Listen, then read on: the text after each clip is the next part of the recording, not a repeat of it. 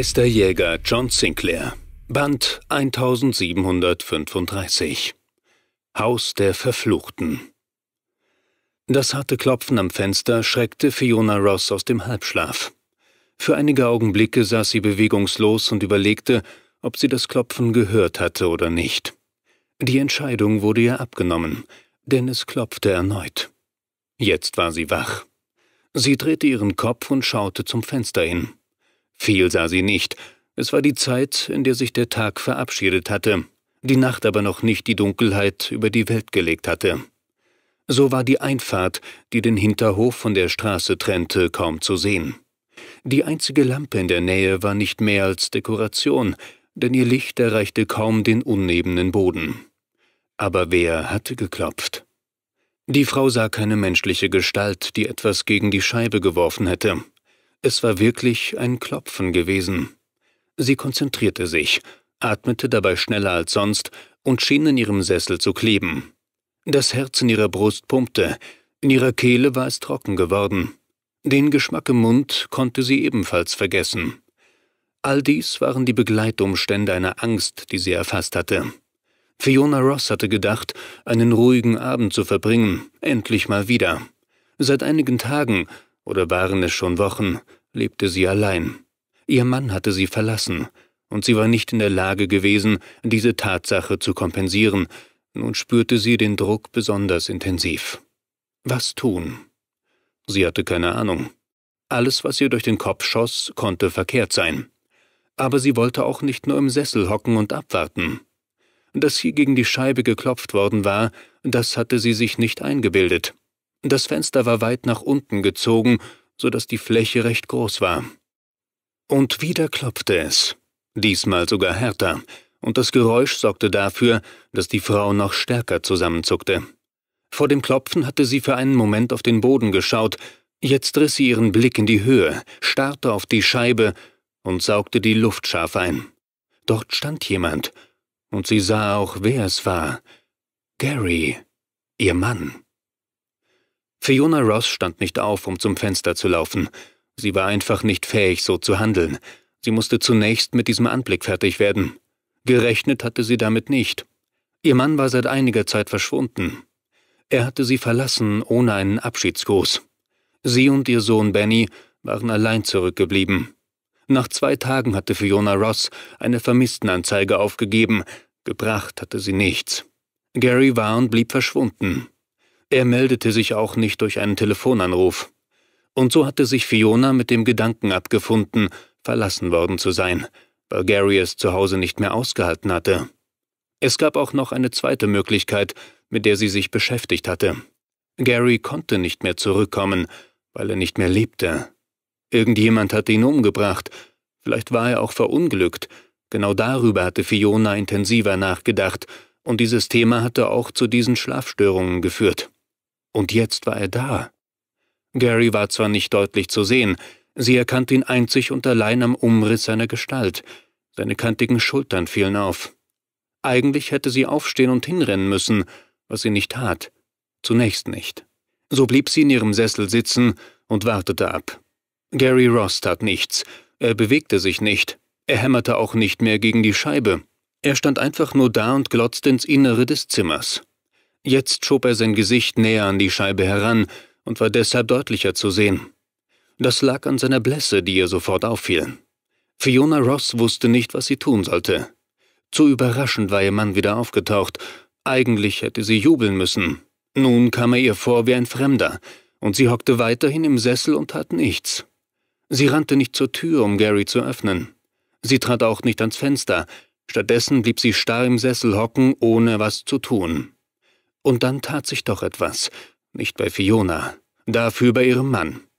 Zuerst zuckte sein Körper nur, dann ging er einen Schritt nach vorn auf die Scheibe zu, dabei geriet er ins Stolpern. Er fiel nach vorn, fand keinen Halt mehr und prallte gegen das Glas. Er wollte sich noch abstützen, zu spät, es war nicht zu schaffen, und so drückte er sein Gesicht gegen die Scheibe, das auf Fiona wie ein teigiger Fleck wirkte. Es war die Bewegung ihres Mannes, die sie aus ihrer Erstarrung riss. Plötzlich war ihr klar, dass sie helfen musste. Und sie raffte sich auf. Es war kein normales Aufstehen. Sie kam nur schwerfällig auf die Beine, aber sie schaffte es und behielt dabei das Fenster im Blick. Ihre Knie zitterten, als sie sich der Scheibe näherte. Eigentlich hätte sie sich über die Rückkehr ihres Mannes freuen müssen. Das war bei ihr leider nicht der Fall. Sie fürchtete sich sogar. Gary hatte sich jetzt abgestützt, so dass sein Gesicht nicht mehr die Scheibe berührte. Seine Augen waren weit geöffnet. Er hielt auch den Mund nicht geschlossen, und sie sah, dass seine Wangen zuckten. Es war ihr Mann, daran gab es keinen Zweifel. Aber er war ihr auch fremd. So hatte sie ihn noch nie gesehen. In den Tagen seines Verschwindens musste etwas Schlimmes mit ihm geschehen sein. Fiona Ross hatte sich noch nicht entschieden, allerdings wollte sie ihren Mann auch nicht vor dem Haus stehen lassen, das brachte sie nicht fertig. Wenn wenigstens Benny, ihr Sohn, im Haus gewesen wäre, dann hätte sie ihn fragen können. Aber Benny war unterwegs, und so musste sie allein eine Entscheidung treffen. Wieder sah sie das Gesicht vor sich. Es kam ihr nicht mehr so blass vor. Jetzt sah es mehr aus wie Asche, aber das waren nur Nebensächlichkeiten. Sie hatte sich entschieden. Sie musste ihren Mann ins Haus lassen, dann würde sie weitersehen. So wie er wirkte, brauchte er sicherlich Hilfe. Mit der Hand gab sie ihm Zeichen, damit er verstand, was sie vorhatte. Dann drehte sie sich um und verließ den Wohnraum, um zur Tür zu gehen. Auch ihre Knie zitterten. Sie musste sich immer wieder zusammenreißen. Bevor sie die Tür öffnete, blieb sie stehen und atmete erstmal tief ein. Hoffentlich mache ich alles richtig, flüsterte sie. Dann zog sie die Tür auf, die nicht verschlossen war. Die warme Abendluft traf ihr Gesicht. Die umstehenden Häuser warfen Schatten in den Hinterhof hinein.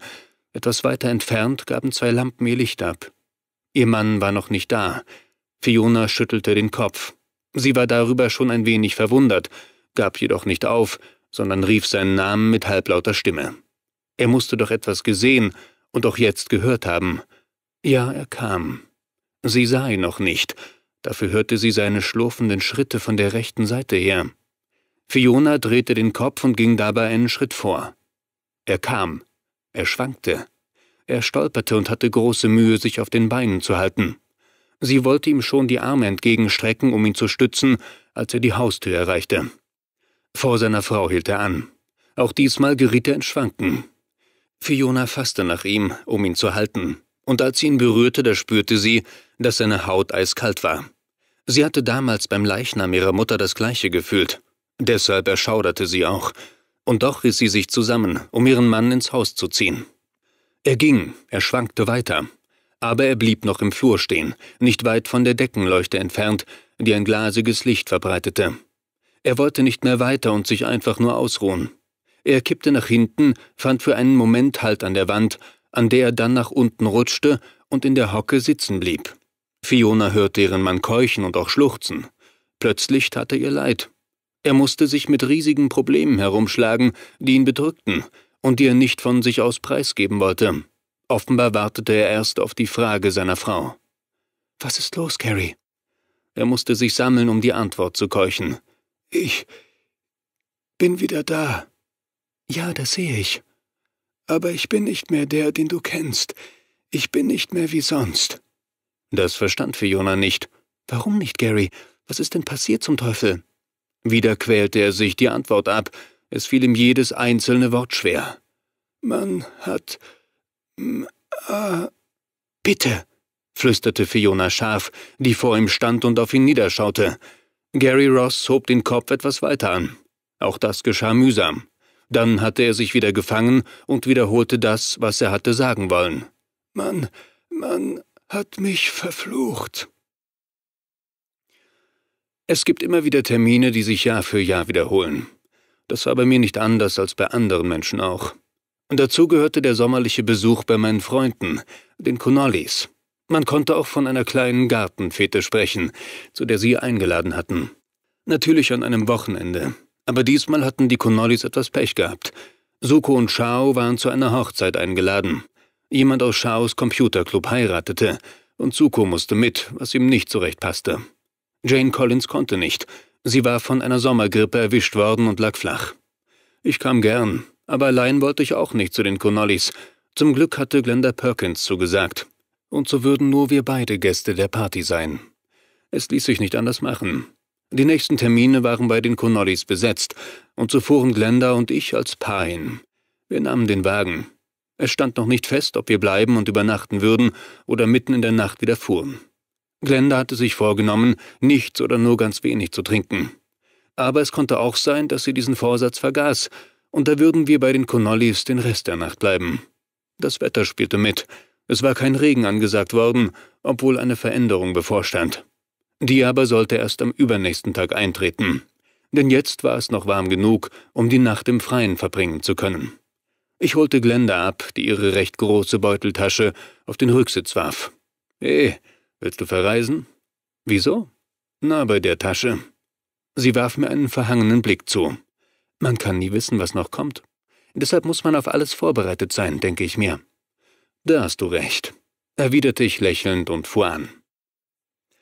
Fiona Ross stand auf dem Fleck und war nicht fähig, einen klaren Gedanken zu fassen. Über ihre Lippen drang kein Wort. Habe ich mich verhört, fragte sie sich, oder bin ich nicht mehr richtig im Kopf? Ihr Mann hockte weiterhin vor ihr und stöhnte leise vor sich hin. Er hatte nur einen Satz gesagt und fügte keinen zweiten hinzu oder eine Erklärung. Er war einfach nicht mehr der Mensch, den seine Frau kannte. Aber er war wieder im Haus. Er war zurück. Und das sah Fiona als positiv an.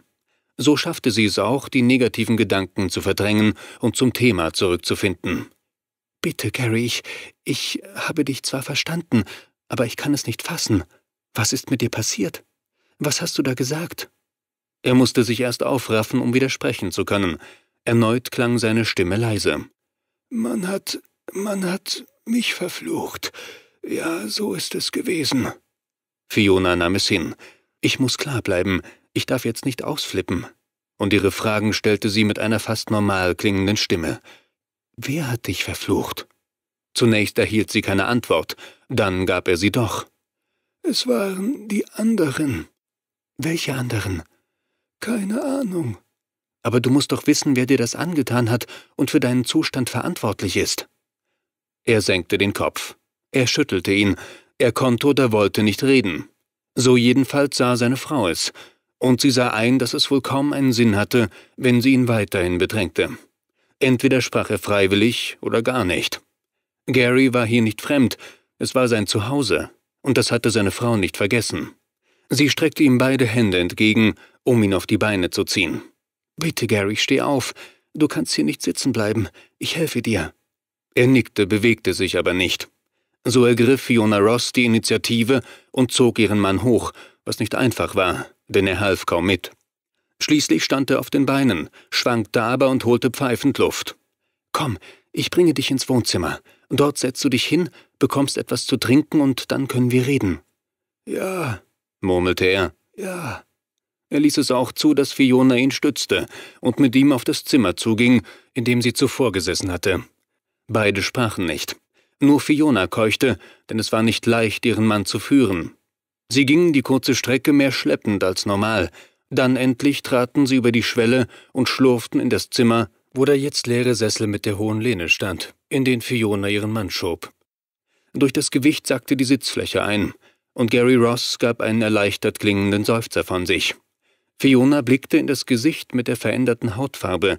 Sie hatte Mühe, normal zu bleiben. Mit leiser Stimme sagte sie, ich gehe jetzt und hole dir was zu trinken. Ist das okay?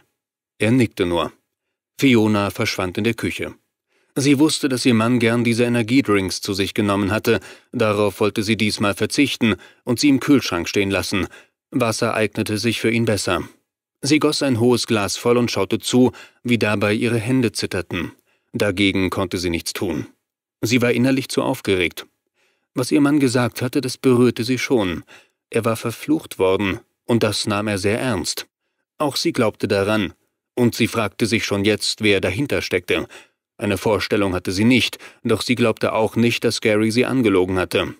Etwas Ungewöhnliches war ihm widerfahren, das ihm zu einem Menschen gemacht hatte, der mit einer Bürde leben musste. Fiona hoffte, dass sie mehr erfahren würde, wenn ihr Mann sich etwas erholt hatte. Das konnte allerdings dauern, wobei sie viel Geduld haben musste. Sie schaltete noch eine Lampe an, um etwas Licht zu haben. Es war die alte Stehlampe mit dem Pergamentschirm. Sie hatte sie noch von ihrer Großmutter. Gary Ross saß völlig apathisch in seinem Sessel. Er sah kaum auf, als seine Frau das Zimmer betrat, die bewusst forsch ging und auch ihrer Stimme einen entsprechenden Klang gab. So, mein Lieber, jetzt gibt es erstmal einen kräftigen Schluck. Danach wirst du dich besser fühlen. Er sagte nichts und schaute nur das Glas an, das ihm seine Frau entgegenhielt. Dann hob er mühsam beide Arme und fasste nach dem Glas. Er nahm es in beide Hände, setzte es zitternd an seine Lippen, etwas Wasser schwappte auch über, doch das meiste wurde getrunken. Gary Ross trank und hörte gar nicht mehr auf. Es war ein hohes Glas und bis zum Rand gefüllt worden, und das trank Gary in einem langen Zug aus. Dann setzte er das leere Glas auf seine zusammengepressten Oberschenkel. Noch ein Schluck? Nein, jetzt nicht. Geht es dir denn besser? fragte sie. Er runzelte die Stirn. Dann fuhr er durch das dünne graue Haar, das nur die hintere Hälfte seines Kopfes bedeckte. Ja, ich habe im Moment keinen Durst mehr. Toll. Fiona lächelte und fragte dann wie eine liebende Ehefrau, Hast du denn Hunger?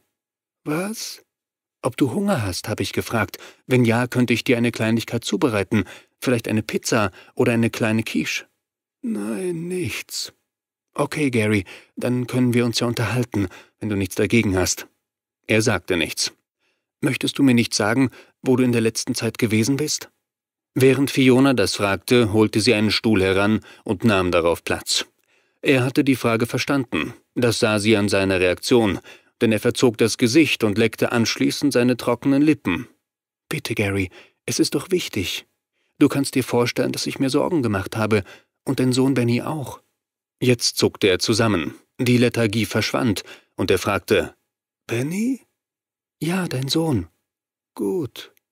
Die schlichte Antwort bereitete Fiona Sorgen. Er hatte sie gegeben, als hätte sie von einem Fremden gesprochen. Das bereitete ihr schon Sorgen, denn Benny und er hatten sich immer gut verstanden. Willst du wissen, wo er ist? Meinetwegen. Er ist unterwegs. Heute ist der Samstag und ein sehr warmer Abend. Er amüsiert sich, und er wird froh sein, wenn er hört, dass sein Vater wieder im Haus ist. Gary gab eine Antwort, mit der seine Frau allerdings nicht gerechnet hatte. Ich bin verflucht. Fiona schloss die Augen, nicht lange, nur für einen Moment. Sie wollte es nicht wahrhaben. Sie hatte sich bereits damit abgefunden, dass er daran nicht mehr denken würde, umso härter traf sie der Spruch jetzt. Sie musste schon sehr stark sein, um nicht die Nerven zu verlieren. Bitte, das kannst du nicht immer sagen. Du bist jetzt bei mir und nicht verflucht. Doch, das bin ich. Sie wollte es erneut wissen. Und wer hat dich verflucht? Er musste einen Moment nachdenken. Es waren die anderen. Es sind keine Menschen, verstehst du? Sie haben mich geholt, mich entführt. Ja, so war das. Fiona fand keine Worte mehr. Egal, was sie sagte, sie konnte den Panzer nicht durchbrechen. Er blieb bei seiner Behauptung, und allmählich machte sie sich Gedanken darüber, ob ihr Mann nicht doch die Wahrheit sagte. Kannst du dich denn daran erinnern, wo du in der Zeit gewesen bist? Ja, im Haus. Aha. In einem einsamen Haus mit großen Bäumen darum. Es ist das Haus der Verfluchten. Und ich bin nicht der einzige Bewohner dort gewesen. Das kannst du mir glauben. Fiona ging weiter darauf ein. Wer war denn noch dort? Andere. Ich kenne sie nicht. Und dich hat man laufen lassen? Wieder musste Gary nachdenken. Das weiß ich nicht so genau. Ich bin weg aus dem Haus, aber ich war verflucht und bin es auch jetzt noch. Ich befinde mich unter ihrer Kontrolle. Ich muss tun, was sie wollen. Er nickte. Ja, das muss ich. Und was ist das? Diesmal erfolgte die Antwort spontan. Töten, Fiona. Ich muss töten. Auch dich. Jetzt war es heraus, und Fiona musste diese letzte Bemerkung erst verdauen. Zum zweiten Mal war sie geschockt worden, diesmal noch härter. Sie fand keine Worte mehr, aber sie wusste auch, dass sie sich nicht verhört hatte. Er wollte töten. Er wollte nicht einfach nur töten, sondern hatte ein Ziel. Das war sie. Die eigene Frau, mit der er über 20 Jahre verheiratet war. Die wollte er so einfach auslöschen. Das konnte nicht wahr sein. Sie musste sich verhört haben. Was willst du, Gary? Ich bin verflucht. Das hast du schon gesagt, aber ich kann nicht anders. Der Satz war erschreckend klar über seine Lippen gekommen, und er machte Fiona Angst. Allmählich begriff sie, dass sie hier keinen Traum erlebte, sondern brutale Wirklichkeit. Ihrem Mann musste etwas Grauenhaftes passiert sein, das für eine völlige Veränderung bei ihm gesorgt hatte. Begreifen konnte sie es nicht, aber darauf kam es auch nicht an. Vieles im Leben war unbegreiflich und musste akzeptiert werden. Sie schluckte, ihr fehlten weiterhin die Worte, und sie schaute ihrem Mann ins Gesicht. Ja, es geht nicht anders, erklärte er schwerfällig. Das ist einfach so. Und mich willst du umbringen? Du bist die Erste. Fiona konnte es nicht glauben. Sie konzentrierte sich auf sein Gesicht und suchte nach einer bestimmten Veränderung. Abgesehen von der Hautfarbe sah es eigentlich aus wie immer, wäre da nicht der ungewöhnliche Glanz in den Augen gewesen, den sie bei ihm noch nie zuvor gesehen hatte. Das war kein normaler und menschlicher Blick mehr. Er war völlig anders, und sie war nicht fähig dafür eine Erklärung zu finden. Fiona wusste nicht, was sie dagegen tun konnte. Sie glaubte auch nicht, dass sich ihr Mann überzeugen ließ. Jemand hatte ihn manipuliert, und das war einfach nur schlimm. Gary zitterte nicht mehr. Er hatte sich wieder gefangen. Er zog seine Schultern hoch, ballte dann die Hände zu Fäusten, die er gegen die beiden wulstigen Armlehnen stemmte und so hoch kam. Langsam nur, im Zeitlupentempo. Und er ließ seinen Blick nicht von Fiona. Ihr machte das Angst. Sie fing an zu zittern, denn sie dachte daran, dass dies so etwas wie ein Mörderblick war. Sie fand ihre Sprache wieder. Das, das willst du doch nicht wirklich tun. Doch, ich muss. Jetzt verlor sie die Nerven. Wer hat das gesagt? schrie sie. Wer hat dir das gesagt? Du weißt es. Ja, das wusste sie, damit konnte sie nur nichts anfangen. Die Angst war wie ein in ihr steckendes Tier, das damit begann, sie aufzufressen. Fiona konnte nichts dagegen tun. Ihr Mann kam ihr wie ein Monster vor, das auf sie zuging. Flucht. Es gab keine andere Möglichkeit mehr. Sie musste so schnell wie möglich das Haus verlassen. Noch bestand die Chance, aber es würde schwer werden.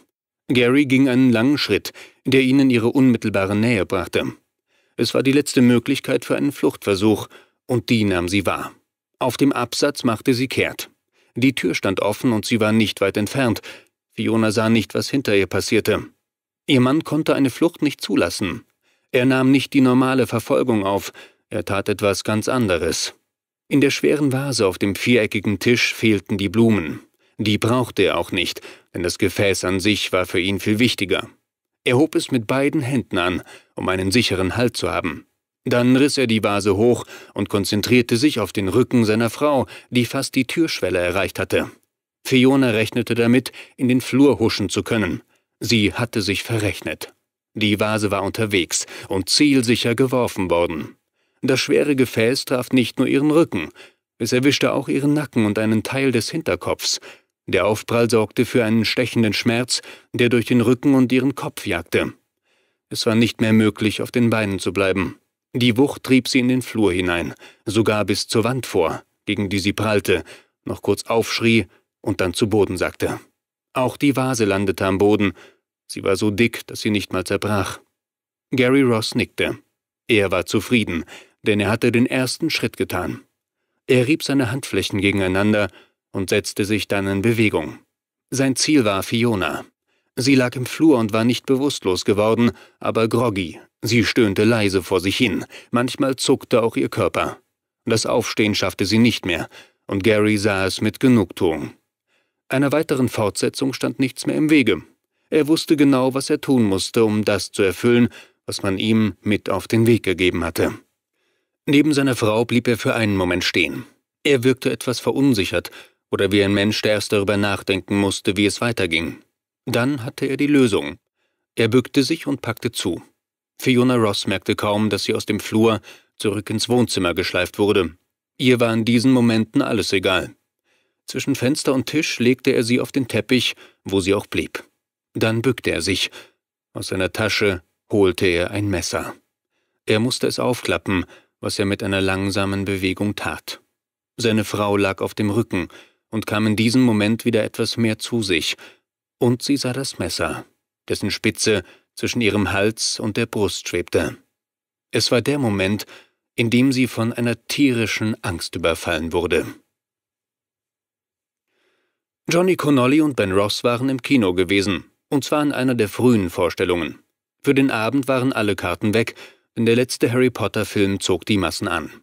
Die beiden hatten noch zwei Plätze ergattern können und hatten sich praktisch in das Actionspektakel hineinfallen lassen, um das Kino später begeistert zu verlassen. Es war noch hell und sie überlegten, wo sie noch etwas trinken sollten. In der Nähe lag ein Pub, in dem auch zahlreiche Studenten verkehrten. Da trafen sie bestimmt Bekannte, und so entschlossen sie sich, dorthin zu fahren. Johnny war mit seiner Vespa gekommen und Benny Ross nahm auf dem Rücksitz Platz.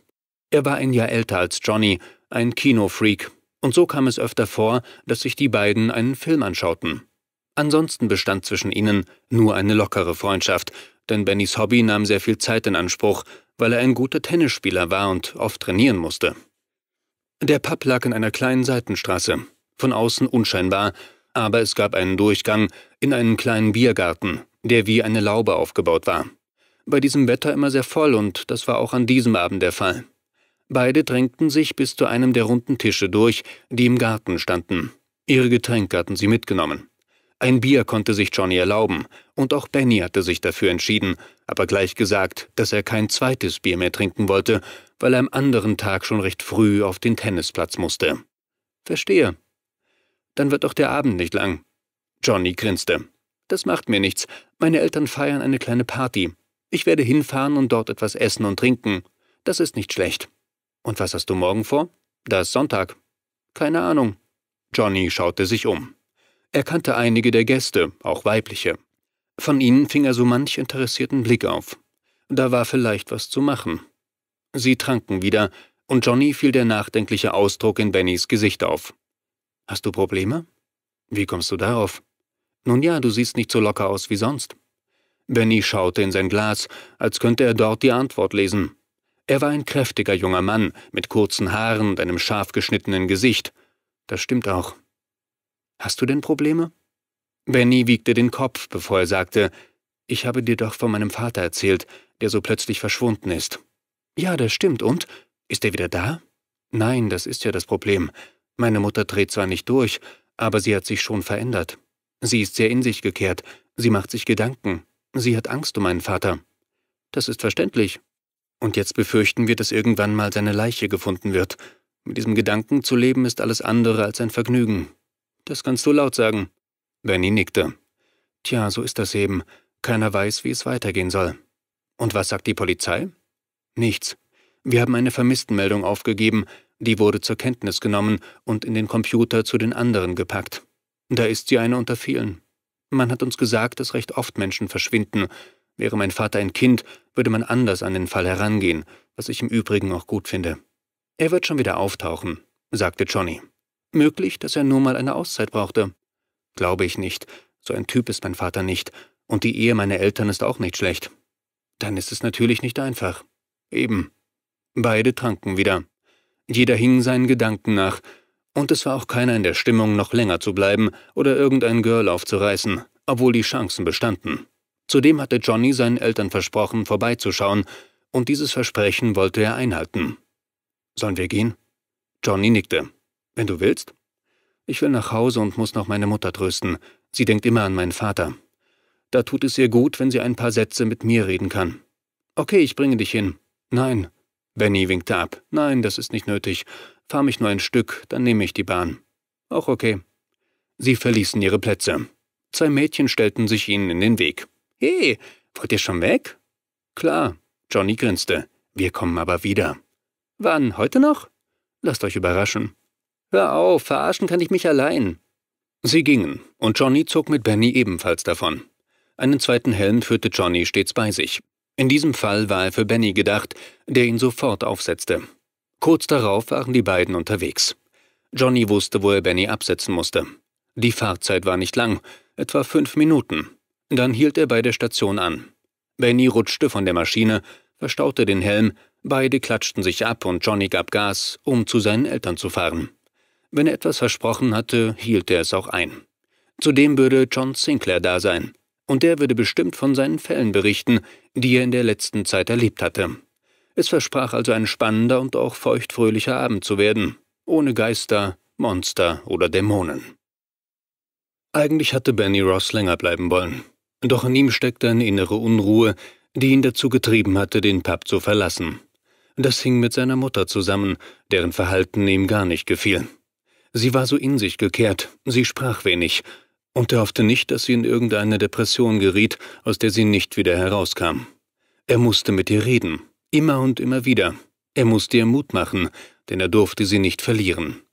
Sie musste einfach daran glauben, dass ihr Mann zurückkehrte und nicht auf ewig und immer verschwunden war.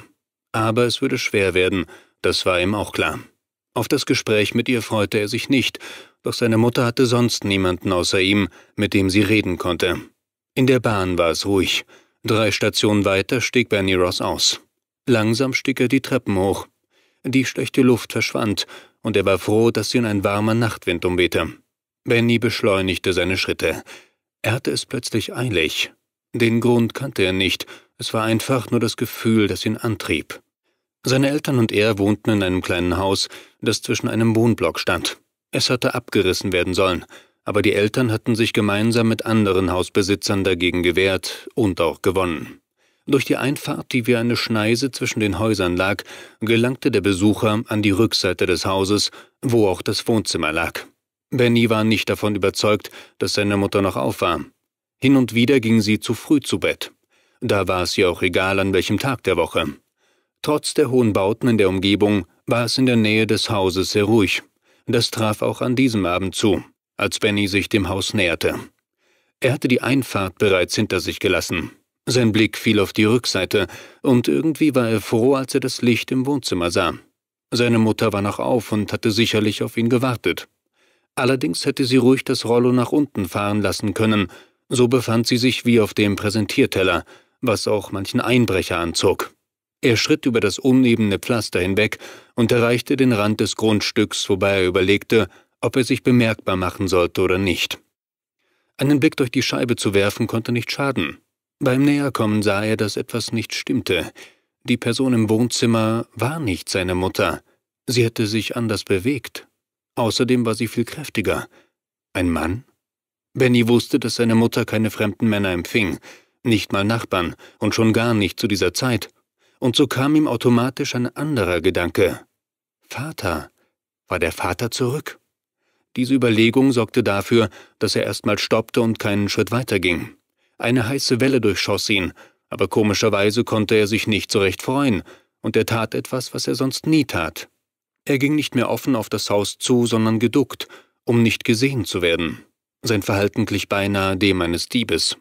Er kam sich dabei selbst albern vor, aber es musste einfach sein.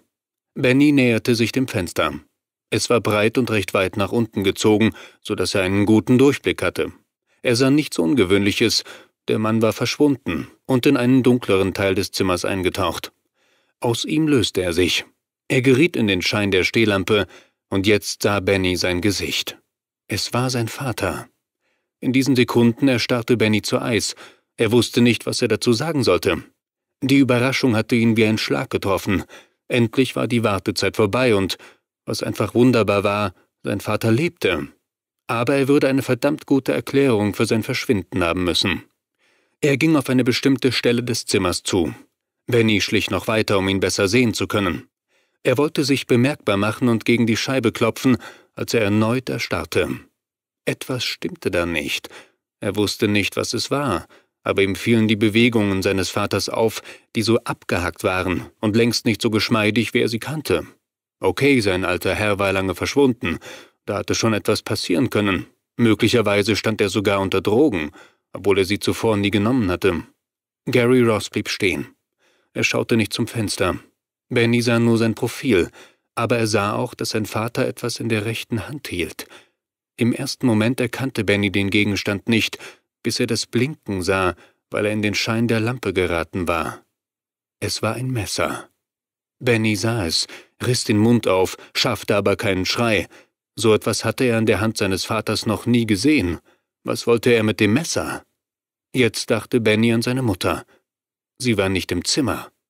Möglicherweise befand sie sich in einem der anderen Räume, doch das zu glauben fiel ihm nicht leicht. In seinem Inneren veränderte sich etwas. Er konnte nicht genau sagen, was es war, aber es hinterließ bei ihm ein Angstgefühl. Es war nicht die Angst um sich, sondern eine andere, die... Sein Vater bückte sich. Benny dachte nicht mehr weiter. Seine Angst war plötzlich unwichtig geworden. Er wusste, dass in diesem Zimmer nicht mehr alles normal war, und jetzt sah er, wie sein Vater nach etwas griff, das er noch nicht sah. Wenig später schon. Mit einer Hand zog Gary Ross etwas vom Boden hoch. Es war ein Mensch, seine Frau. Es war seine Mutter. Plötzlich saß ein Kloß in Bennys Kehle. Er kam nicht mehr dazu, Luft zu holen, denn er hatte nur Augen für seine Mutter und für eine Gestalt, die völlig leblos war und sich von selbst aus nicht mehr bewegen konnte. Er führte den Gedanken nicht zu Ende.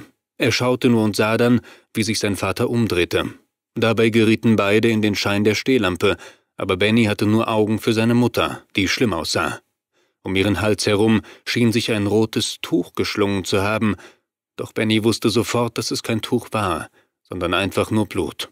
Blut, das aus der Wunde gelaufen war, als seine Mutter durch einen Messerstich getötet wurde. Er konnte nicht mehr denken. Er war völlig fertig. Er stand neben sich. Er hatte eigentlich schreien wollen, das tat er nicht. Er nahm auch keinen Stein auf, um ihn in die Scheibe zu werfen. Er tat überhaupt nichts. Er war der stumme Zeuge einer Grausamkeit, die einfach ungeheuerlich war. Seine Mutter war tot. Sie war umgebracht worden und das von ihrem eigenen Mann. Das begriff Benny, obwohl er es nicht wahrhaben wollte. Das Grauen hatte ihn verändert, und er wurde erst wieder aus seiner Lethargie gerissen, als er sah, wie sich sein Vater bewegte. Er hielt die Tote noch immer auf den Armen und ging jetzt damit zur Couch, auf die er den Leichnam legte. Damit war er zufrieden. Benny zog sich zurück. Er tat es nicht bewusst, es war mehr eine vom Instinkt geleitete Reaktion, die einen Überlebenswillen signalisierte. Wann er wieder klar denken konnte und sein Bewusstsein ernst nahm, war ihm nicht klar. Er stellte nur fest, dass sich die Umgebung verändert hatte. Er sah das Haus seiner Eltern nicht mehr. Dafür fand er sich in der Einfahrt wieder, die von zwei grauen Mauern flankiert wurde. Er zitterte, er weinte, er stöhnte. Er fühlte einen Fieberschauer nach dem anderen durch seinen Körper rinnen, und er war so verflucht hilflos. Das Wort halbweise schoss ihm durch den Kopf, während die Tränen wie ein Sturzbach über sein Gesicht rannen. Dann sackte er zusammen, schleifte mit dem Rücken an der Mauer entlang und strich mit einem Ellbogen über die linke Körperhälfte hinweg, wo er einen leichten Gegendruck spürte. Dort steckte etwas in der Brusttasche. Es war sein Handy, das er hervorholte, denn ihm war genau zu diesem Zeitpunkt eine bestimmte Idee gekommen. Ein kleines Fest bei den Connollis war immer etwas Besonderes. Das fing schon beim Aperitif an. Diesmal war es ein sogenannter Spritz, eine Mischung aus Aperol, einer Orangenscheibe, Eiswürfeln, etwas Soda und aufgefüllt mit Prosecco. Schmeckte herrlich erfrischend. Ich war meine Blumen losgeworden, die natürlich Glenda ausgesucht hatte, was Sheila Connolly auch sofort feststellte, denn mir traute sie einen so guten Geschmack nicht zu. Sie kennt dich eben, musste Bill kommentieren. Und dich auch. Bill verzog das Gesicht. Leider. Sheila freute sich, dass ich Glenda Perkins mitgebracht hatte. Sie war schon länger nicht bei den Connollis gewesen und musste erst mal mit ihr durch den Garten gehen, der an verschiedenen Stellen beleuchtet war. Sogar auf das Schwimmbad fiel Licht und gab dem Wasser einen fast kostbaren Schimmer. Bill sah die Frauen und deutete auf den Pool. Wenn du willst, kannst du ein paar Runden drehen. Ich winkte ab. Nein, nein, ich hab schon geduscht. Ist aber trotzdem ein schöner Anblick. Was meinst du? Er stieß mich an. Unsere beiden Frauen natürlich. Schick, würde ich sagen.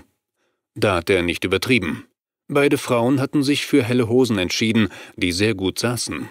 Sheila trug eine weiße Hose, Glenda eine gelbe.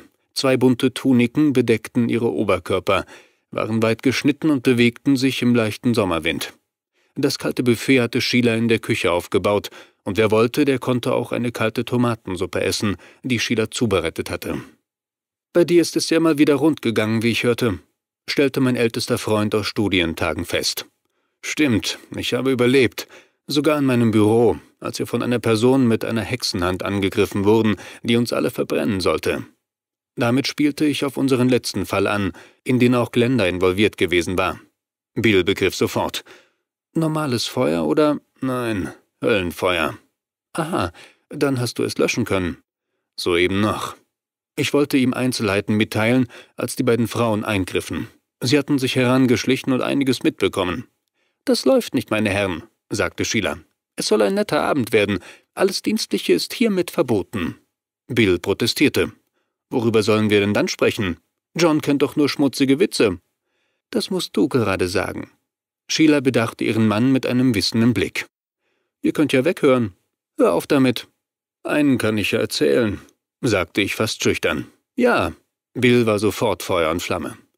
Ich ließ mich nicht lange bitten und fragte, woran erkennt man, ob eine Schokolade weiblich oder männlich ist?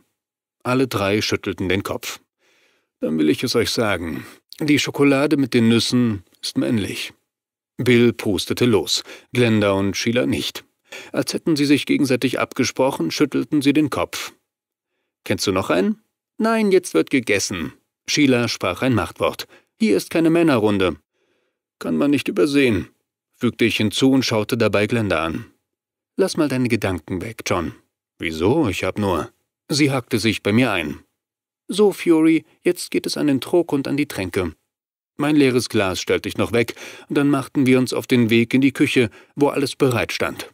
Nicht nur das Essen, sondern auch Teller und Bestecke natürlich auch die Tassen für die Suppe, die ich zuerst nahm. Mit ihr ging ich wieder nach draußen und nahm in einem der bequemen Sessel Platz, um in Ruhe zu essen. Bill gesellte sich zu mir.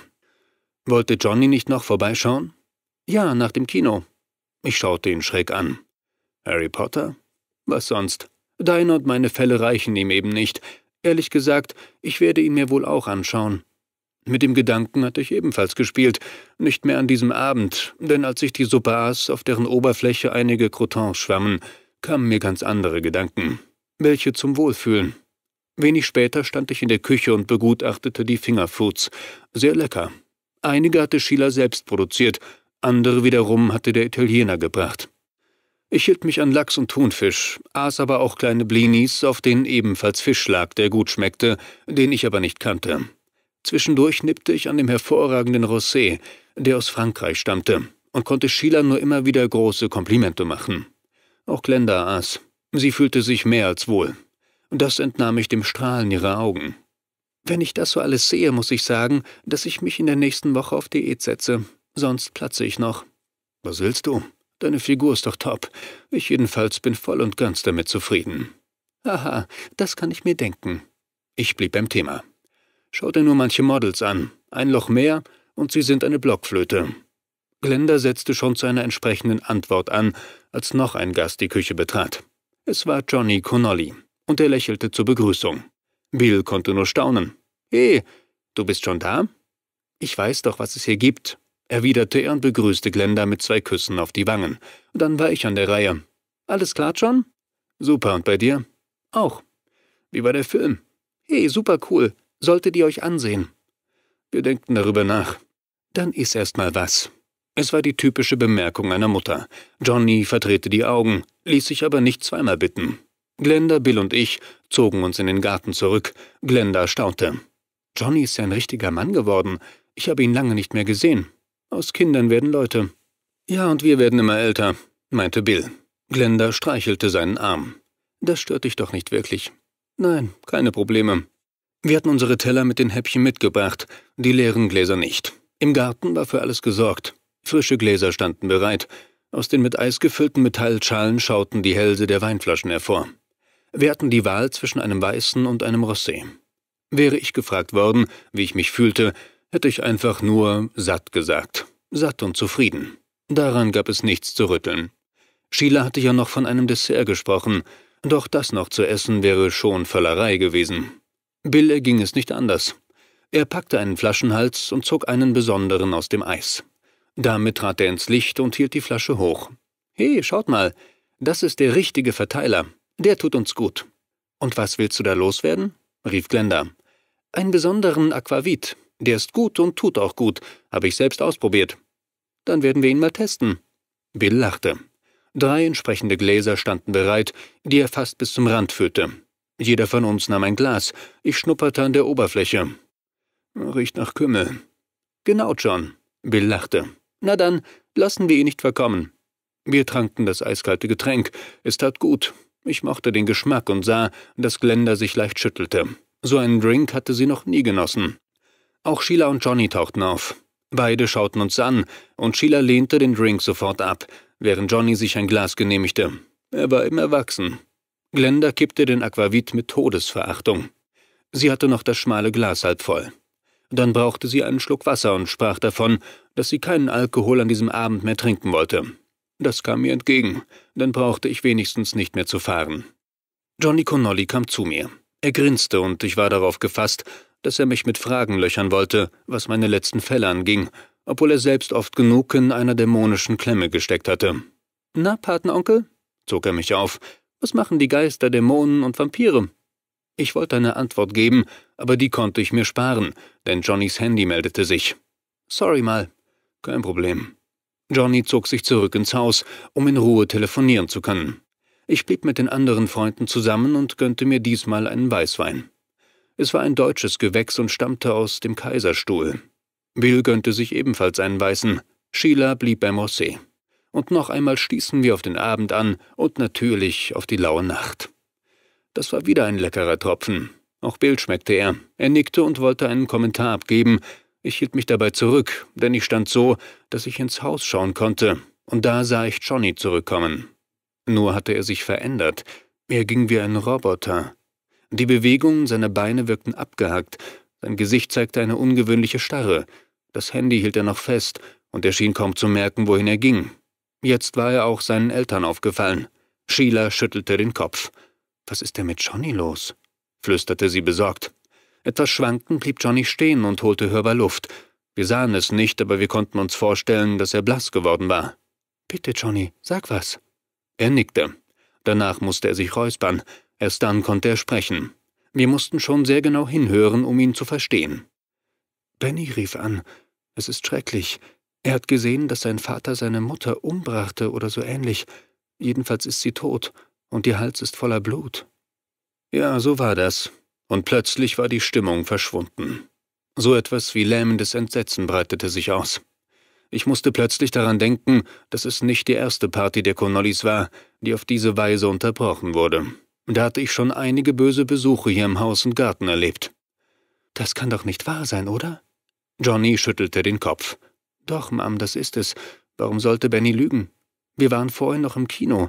Ich habe ihn bis zur U-Bahn gebracht. Er ist zu Fuß nach Hause gelaufen. Und jetzt ist seine Mutter tot. Umgebracht von seinem Vater. Johnny schüttelte den Kopf. Das ist einfach grauenhaft, der reine Wahnsinn. Und weiter forderte ich ihn auf. Ja, er ist zu Hause, aber nicht im Haus, er wartet dort. Ich habe ihm gesagt, dass wir kommen, das stimmt doch. Ihr, ihr wollt doch mitkommen. Ja, das werden wir, sagte ich. Ich muss dabei sein, ich kenne Benny. Gut, dann fahren wir. Und ich begleite euch. Bill ließ keinen Zweifel aufkommen, dass er mitmischen wollte. Seine Frau sagte nichts. Sie und Glenda standen beisammen und schwiegen. Ich bat Glenda noch auf mich zu warten.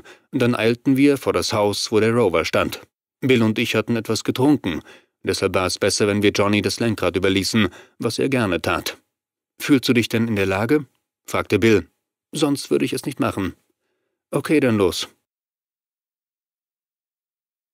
Es war gut, dass Johnny fuhr, denn er hatte von seinem Freund die nötigen Informationen erhalten, die er an uns weitergab. Wir erfuhren, dass Benny Ross nicht im Haus warten würde, sondern an einer bestimmten Stelle vor der Einfahrt, durch die man erst gehen musste, um das Grundstück zu erreichen. Wie es dann weiterging, würden wir dann sehen. Auf der Fahrt schwiegen Bill und ich, während Johnny von seinem Bekannten berichtete, mit dem er im Kino gewesen war. Dick befreundet waren sie nicht. Benny gehörte eben zur Clique, und von dessen Eltern hatte Johnny bereits gehört. Er hätte sich nur bessere Umstände gewünscht, aber so war das Leben eben. Es hielt immer wieder Überraschungen bereit, die wir uns nicht aussuchen konnten. Besonders ich bekam das immer wieder zu spüren. Als wollte mir das Schicksal keine ruhigen Tage gönnen. Dennoch haderte ich nicht damit, das Leben war schon okay. Johnny lenkte den Rover sicher. Bill und ich waren schlagartig wieder ernüchtert worden, und der Reporter fragte, indem er mehr zu sich selbst sprach, Warum passiert uns das immer? Eine Antwort konnte ihm keiner geben, es wäre auch zu viel verlangt gewesen. Am Tag hätten wir länger gebraucht, in der Nacht kamen wir schneller voran. Nach knapp fünf Minuten hatten wir das Ziel erreicht. Johnny hatte von einer Einfahrt gesprochen, in deren Nähe wir den Rover abstellten. Hier sollte auch Benny auf uns warten, der sich tatsächlich aus dem Schatten löste, als die Scheinwerfer des Rovers erloschen. Da ist er ja, sagte Johnny. Wir stiegen aus. Benny kam nicht ganz bis zum Wagen. Er wartete auf halber Strecke. Obwohl er dort wie eine Statue stand, zitterte er und er war froh, dass Johnny ihn umarmte. Johnny versuchte Benny Trost zuzusprechen. Wir sahen diesen nicken, dann stellte Johnny uns vor. Ich sah das verweinte Gesicht des Jungen und hörte seiner dürftigen Erklärung zu. Ich habe nicht gewusst, was ich machen sollte. Da habe ich dich angerufen, Johnny. Das ist schon okay. Du musst dir keine Sorgen machen. Es war wirklich genau das Richtige. Benny erfuhr auch unsere Namen und horchte auf, als er hörte, von welcher Firma ich kam. So, dann wäre es besser, wenn Sie uns zeigen, wo die Tat passiert ist, sagte ich zu ihm. Dann kommen Sie mit. Er drehte sich nochmal um. Aber Vorsicht, er ist wohl noch im Haus. Ihr Vater? Genau. In der Tat mussten wir durch eine Einfahrt gehen, die einen Wohnblock zerteilte. Dahinter lag so etwas wie ein Hof mit einem nicht eben glatten Pflaster. Wo er aufhörte, begannen die Grundstücke, auf denen die Häuser standen, die wie Fremdkörper in dieser Umgebung wirkten oder wie Relikte aus einer anderen Zeit. In vielen Häusern brannte Licht. Wir mussten davon ausgehen, dass sich die Menschen bei diesem Wetter in ihren Gärten aufhielten. Zu hören war allerdings nichts. Erst als wir uns dem Haus der Familie Ross näherten, änderte sich dies. Mal klang ein Lachen auf, dann wieder die Stimme der Menschen, die sich versammelt hatten. Es roch nach Gegrilltem. In den Gärten brannten Lichter. Manche Leute verließen sich auf den Schein der Kerzen, andere wiederum saßen auch im Dunkeln. Benny Ross hatte uns das Haus seiner Eltern gezeigt. Wir bewegten uns dabei auf die Rückseite zu und auf einen Garten, der allerdings nur wenig bewachsen war, was für uns wiederum von Vorteil war, denn so hatten wir freie Sicht. Ich wollte nicht, dass Johnny und Benny mitgingen. Was jetzt zu erledigen war, das wollten Bill und ich alleine durchziehen. Der Reporter hatte auch seine Pistole eingesteckt, allerdings hofften wir, dass er sie nicht benötigte. Ich streckte meinen Arm zur Seite und hielt Bill auf.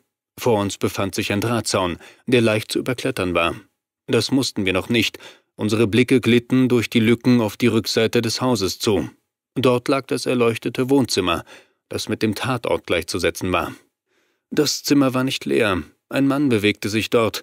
Er ging auf und ab, schaute hin und wieder mal auf die Couch, von der wir nur die Lehne sehen konnten, weil uns der Mann die Sicht nahm. Wir wussten allerdings, dass dort die Tote lag. Das hatte uns Benny Ross gesagt. Und er hatte uns seinen Hausschlüssel überlassen, so war es kein Problem, in das Innere zu gelangen. Was sagst du, John? murmelte Bill. Naja, er wird noch im Zimmer bleiben, schätze ich. Ich frage mich nur, warum er ständig auf und ab wandert. Kann es sein, dass er auf jemanden wartet? Bill schob die Unterlippe vor. Sieht so aus, aber er wartet bestimmt nicht auf uns. Das denke ich mir. Nur wird er überrascht sein, wenn wir plötzlich auftauchen. Das soll er auch. Uns hielt nichts mehr auf unserem Posten. Wenn wir das Haus normal betreten wollten, mussten wir erst einmal um es herumgehen. Erst dann standen wir vor der Haustür. Der Zaun war schnell überklettert. Danach bewegten wir uns zügig und geduckt weiter und achteten darauf, dass uns niemand sah. Zum Glück wurde auf dem Nachbargrundstück nicht gefeiert, außerdem lag das Haus im Dunkeln. Wahrscheinlich waren die Bewohner weg, nicht ein Außenlicht gab seinen Schein ab. Solange es möglich war, warfen wir immer wieder einen Blick in das Wohnzimmer und stellten fest, dass sich dort nichts verändert hatte. Noch immer schritt Gary Ross durch das Zimmer, als wäre er ein einsamer Wachsoldat. Sekunden später hatten wir die Vorderseite erreicht. Dass ein Außenlicht brannte, gefiel uns nicht, war jedoch nicht zu ändern. Ich hoffte nur, dass wir nicht gesehen und für Einbrecher gehalten wurden. Bill holte den Schlüssel hervor. Das Schloss war gut zu sehen und auch leicht zu öffnen. Mein Freund nickte mir zu, als er die Haustür nach innen drückte und sich als erster in die fremde Umgebung schob. Ich folgte ihm und schloss die Tür leise. Sekundenlang standen wir unbeweglich und lauschten. Zuerst hatten wir mit einer Stille gerechnet, was aber nicht zutraf, denn als sich unsere Ohren an die Umgebung gewöhnt hatten, da hörten wir eine Männerstimme, und der Sprecher konnte nur Gary Ross sein. Er hielt sich noch immer im Wohnzimmer auf. Dort würde er auf und ab gehen, mit sich selbst sprechen und hin und wieder auf die Tote schauen. Wir standen in einem kurzen Flur, und ein weiterer, der allerdings schmaler war, würde uns zum Ziel bringen. Diesmal übernahm ich die Führung. Beide hatten wir die Pistolen gezogen. Nicht wir sollten überrascht werden, sondern wir wollten Ross überraschen. Ab jetzt war es wichtig, kein verräterisches Geräusch zu machen. Wir gingen so leise wie möglich. Manchmal hatte ich das Gefühl, den Boden gar nicht zu berühren. Wir hörten Gary Ross sprechen, aber wir verstanden nicht, was er sagte. Es war mehr ein Gemurmel in unterschiedlicher Lautstärke. Er lachte sogar, wobei sich das Lachen schon bitter anhörte. Als wir die Wohnzimmertür erreichten, die leicht offen stand, blieben wir stehen. Der erste Blick zeigte uns genau das, was wir schon von außen gesehen hatten.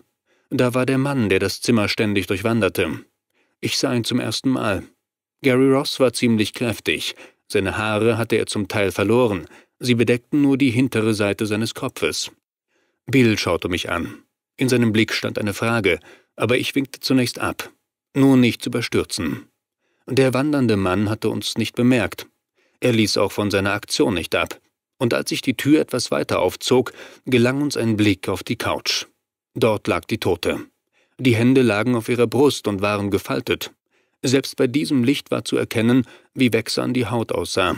Gary Ross blickte beim Gehen nach vorn und dachte nicht daran, den Kopf zu drehen und zur Tür zu schauen.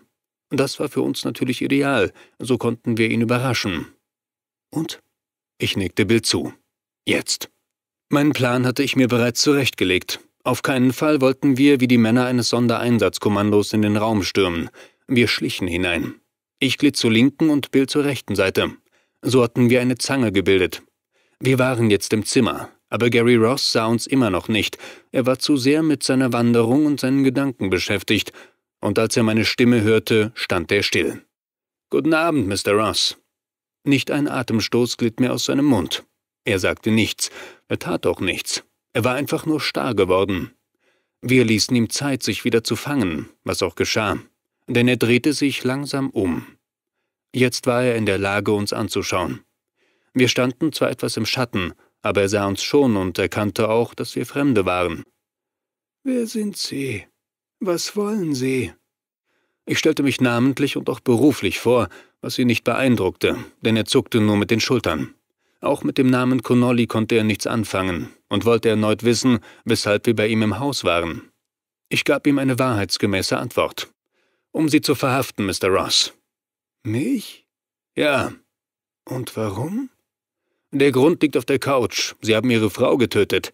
Sie sind ein Mörder. Und Menschen wie Sie gehören vor Gericht. So sieht es das Gesetz vor. Ich musste ehrlich zugeben, dass es eine der ungewöhnlichsten Verhaftungen war, die ich je erlebte. Er drehte sich um und schaute dorthin, wo seine Frau lag. Von Benny wussten wir, dass er sie mit einem Messer getötet hatte, diese Waffe jedoch suchten wir vergeblich. Ist es Ihnen klar geworden? Nach meiner Frage drehte er sich wieder um, weil er eine Frage stellen wollte. Dabei verzog er seine Lippen. Sie. Sie wollen mich tatsächlich verhaften? Mich? Das hatten wir vor. Unmöglich. Er hatte die Antwort mit einer überzogenen Sicherheit gegeben, die mich verwunderte und mich zu der nächsten Frage veranlasste. Warum ist das unmöglich? Weil man einen Verfluchten nicht verhaften kann. Verstehen Sie das? Aha, dann sind Sie verflucht. Ja, das bin ich. Und weiter? Ich habe nur getan, was ich tun musste. Verfluchte reagieren ebenso. Mit den Antworten wussten weder Bill noch ich etwas anzufangen. Jetzt stellte auch Bill eine Frage. Wieso sind Sie verflucht? Können Sie das erklären? Ich habe nur meine Pflicht getan. Sie meinen damit den Mord? Ja, so ist es. Und wo haben Sie das Messer? sprach ich ihn an. Sie haben doch Ihre Frau mit dem Messer getötet. Ich habe keine andere Waffe besessen. Wollen Sie es uns nicht zeigen? Er überlegte, schaute sich dabei um und richtete den Blick schließlich zu Boden. Da liegt es. Es war ein Punkt vor der Couch, auch in seiner Nähe. Ich befahl ihm zurückzutreten, damit ich etwas freiere Bahn hatte. Dann wollte ich das Messer holen, wobei Bill Connolly mir Rückendeckung gab. Das Messer fand ich tatsächlich an dem gezeigten Ort. Die Klinge war nicht ganz blank. Es klebten noch Blutreste daran. Ich nahm ein Taschentuch, wickelte es um die Waffe und hob sie dann auf. Es war schon eine seltsame Szene. Dicht neben mir stand der Mörder, ohne etwas zu tun. Ich kam wieder hoch und übergab Bill das Messer samt Tuch. Erst dann schaute ich mir die Tote aus der Nähe an und musste erkennen, dass Benny sich nicht geirrt hatte. Die Kehle der Leiche war tatsächlich von Stichen zerfetzt worden. Schlimm. In den glasigen Augen glaubte ich noch, einen Rest von Entsetzen zu erkennen, und zum wiederholten Mal stellte ich mir die Frage, was diesen Mann zu einer derartigen Tat veranlasst haben könnte. Eine Antwort wusste ich nicht, doch ich hatte etwas gehört, das sich bei mir im Kopf eingebrannt hatte. Gary Ross hatte davon gesprochen, dass er verflucht war. Handelte es sich um eine Ausrede oder kam es der Wahrheit nahe? Er reagierte nicht normal. Ein anderer Killer hätte den Tatort so schnell wie möglich verlassen. Gary Ross war geblieben, und er hatte auf mich den Eindruck gemacht wie jemand, der auf etwas wartete, das irgendwann auf ihn zukommen würde. Aber es war nicht gekommen, zumindest bisher nicht, Und so musste er weiterhin warten, und ich hoffte stark, dass er sich näher darüber äußern würde. Wir standen nicht weit voneinander entfernt, aber er sagte nichts. Es sah so aus, als wäre ich für ihn gar nicht vorhanden. Er schaute praktisch durch mich hindurch. Das war schon alles recht ungewöhnlich. Überhaupt bereitete mir der Fall Magenschmerzen. Sollten wir nicht deinen Kollegen Bescheid geben, John? Ja, aber etwas später. Ich möchte ihn gern hier raus haben und in den Wagen setzen. Okay, lass es uns versuchen. In dieser Antwort hatte Zweifel gelegen, und auch ich fragte mich, ob es einfach sein würde, Ross dazu zu überreden, das Haus zu verlassen. Ich wollte ihn in Sicherheit wiegen, und gefesselt im Rover war er sicher. Sie werden uns jetzt begleiten, Mr. Ross, in meinen Wagen. Nein. Sehr schroff hatte er mich unterbrochen, so dass ich schlucken musste. Aber ich habe es mir vorgenommen, und so sehen die Regeln aus. Sie kommen mit. Ich gehe nicht mit. Ich wollte es nicht auf die Spitze treiben und fragte deshalb, und warum nicht? Weil ich warte. Aha, auf wen? Auf Sie, flüsterte er und war plötzlich erregt. Die Starre fiel von ihm ab. Er bewegte den Kopf von einer Seite zur anderen. Auf seinen Lippen zeigten sich kleine Speichelbläschen. Ich trat einen Schritt zurück. Die Beretta hatte ich gesenkt. Ich wollte Ross nicht provozieren. Und er hörte meine weitere Frage. Auf wen warten Sie? Es sind meine Freunde. Sie kommen. Sie sind bald hier. Meine Freunde, die Verfluchten. Da war der Begriff schon wieder. Ich hakte sofort ein. Und Sie sind auch verflucht worden? So ist es. Endlich. Jetzt gehöre ich wirklich zu Ihnen.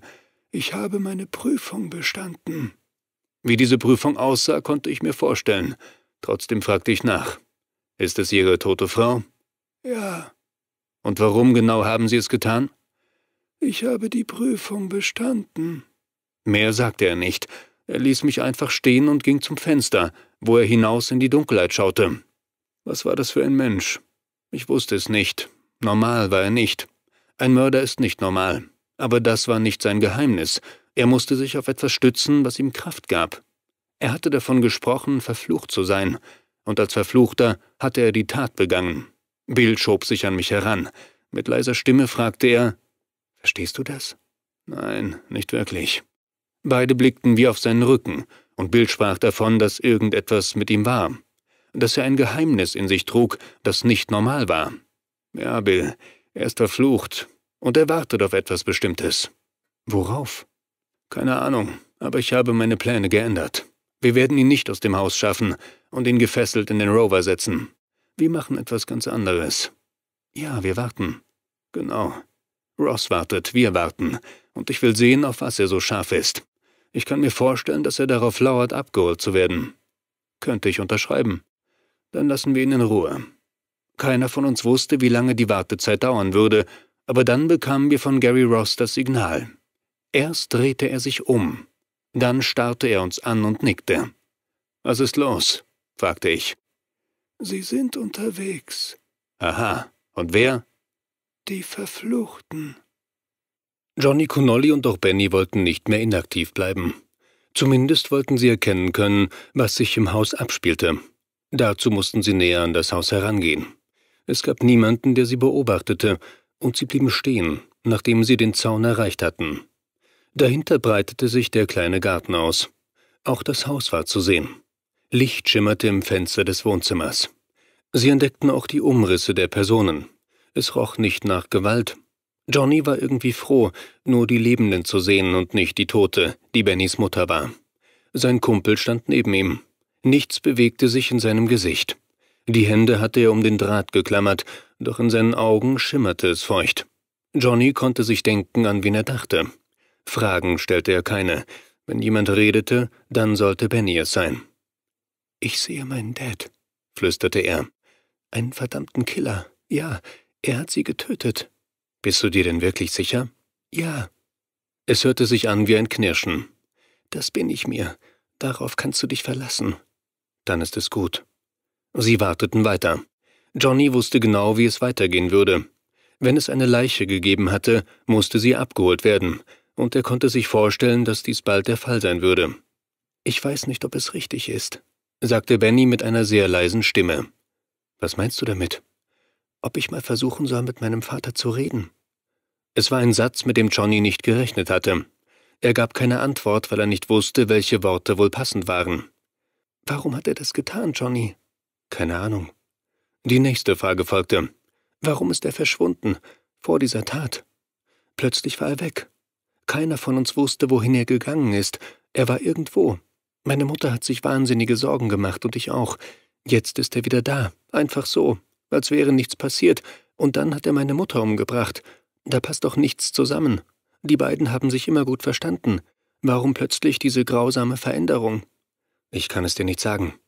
Benny stöhnte. Dabei hatten sie nie einen großen Streit, da flogen keine Fetzen und jetzt.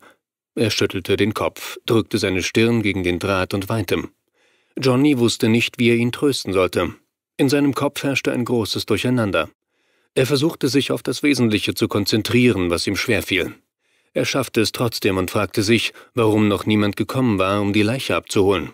Dafür musste John Sinclair seine Gründe haben, die Johnny gern erfahren hätte. Er warf Benny einen knappen Blick zu. Sein Kumpel war noch immer nicht ansprechbar. Er stand auf der Stelle und drückte seine Stirn gegen den Draht. Er hatte einen zweiten Schock erlitten. Johnny wollte ihn nicht weiter ansprechen. Aber er dachte darüber nach, ob er den Zaun überklettern sollte, um näher an das Haus heranzukommen.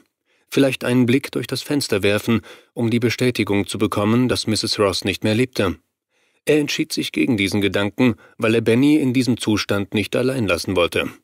Wenn er jemanden brauchte, mit dem er reden wollte, wollte Johnny zur Stelle sein. Und dann rieselte plötzlich etwas über seinen Rücken wie ein kühler Schauer. Für Johnny war diese Veränderung so etwas wie ein Alarmsignal. Er konnte sich nicht erklären, woher dieses Gefühl so plötzlich gekommen war. Jedenfalls war es vorhanden, er hatte es sich nicht eingebildet. Nichts hatte sich in seiner Umgebung verändert. Johnny drehte sich um. Er schaute jetzt zu den Häusern mit der Durchfahrt hin, als wollte er eine Gefahr entdecken. Da war nichts. Oder doch? In den folgenden Sekunden war sich Johnny nicht mehr sicher. Es konnte durchaus sein, dass sich vor ihm etwas tat, nur war das nicht zu erkennen. Er glaubte, dass sich über dem dunklen Boden und in der Luft etwas bewegte. Zu sehen war es nicht, nur zu ahnen. Johnny hielt den Atem an. Er sah die Gefahr nicht, er spürte sie nur. Und sie kam näher. Auf seiner Stirn bildeten sich kleine Schweißtropfen. Obwohl noch immer nichts zu sehen war, verspürte er einen Druck vom Kopf bis zu den Füßen. Seine Umgebung hatte sich verändert. Etwas kam, nicht jemand. So weit war Johnny mit seinen Gedanken schon gekommen, als er erneut eine Veränderung wahrnahm, denn jetzt umwehte etwas seine Ohren. Da war auch etwas zu hören, denn jemand zischelte. Es war so etwas wie eine Stimme, nur war er nicht in der Lage, den Sprecher zu sehen, denn der war unsichtbar. Täuschung oder nicht? Nein, das war keine Einbildung, weil Johnny Sekunden später eines Besseren belehrt wurde, denn da waren tatsächlich Stimmen zu hören, und er verstand, was gesprochen wurde. Er ist da. Ja, wir haben ihn gefunden. Jetzt können wir ihn holen. Er gehört zu uns. Das muss so bleiben. Er hat seine Prüfung bestanden. Er ist ein Verfluchter. Danach endeten die Stimmen.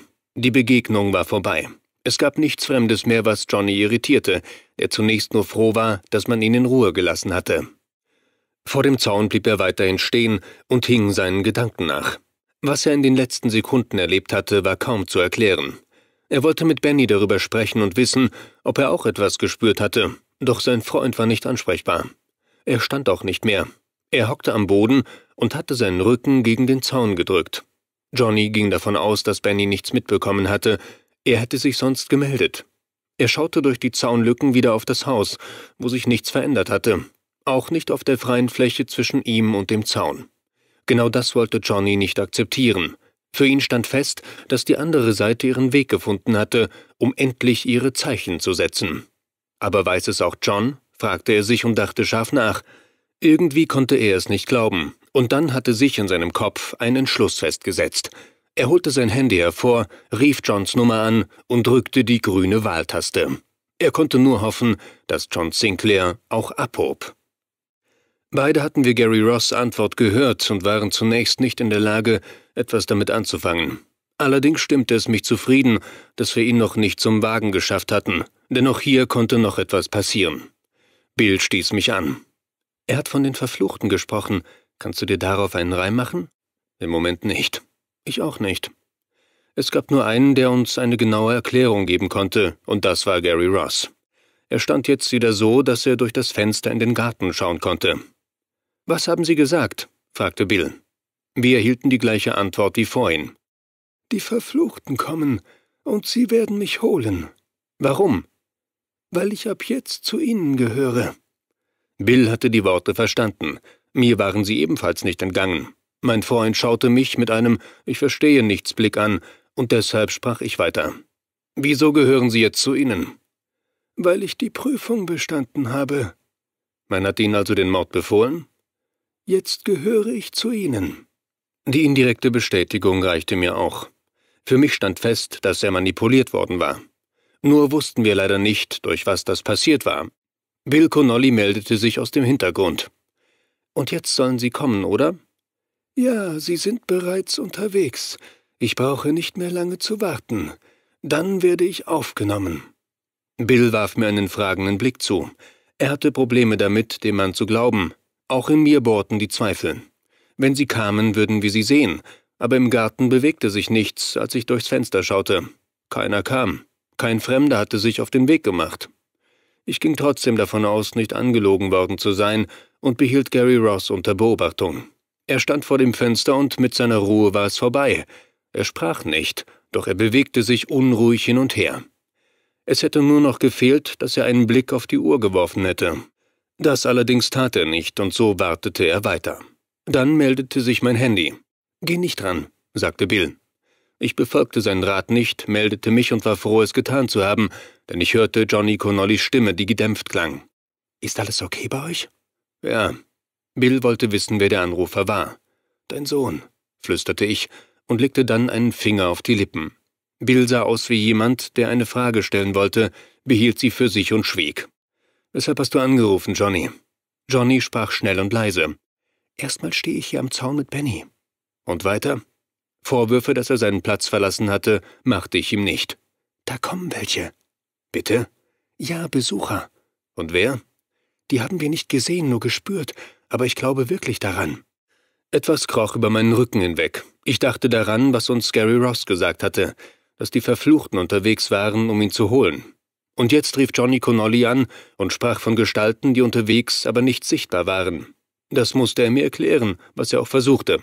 Er hatte deutlich das Fremde gespürt, das sich Benny und ihm genähert hatte, das ihm Angst gemacht hatte, obwohl sie nicht angegriffen worden waren. Ich denke mir, John, dass Sie zum Haus wollen, wo ihr seid. Sicher wollen Sie zu Mr. Ross. Das kann gut sein, denn er hat ähnlich reagiert. Wie denn? Er hat sie gespürt. Dann sind Sie vielleicht schon da. Ich hörte auch Ihre Stimmen. Sie wollen ihn holen. Das war mir neu. Ach, die Stimmen kann man hören? Ja.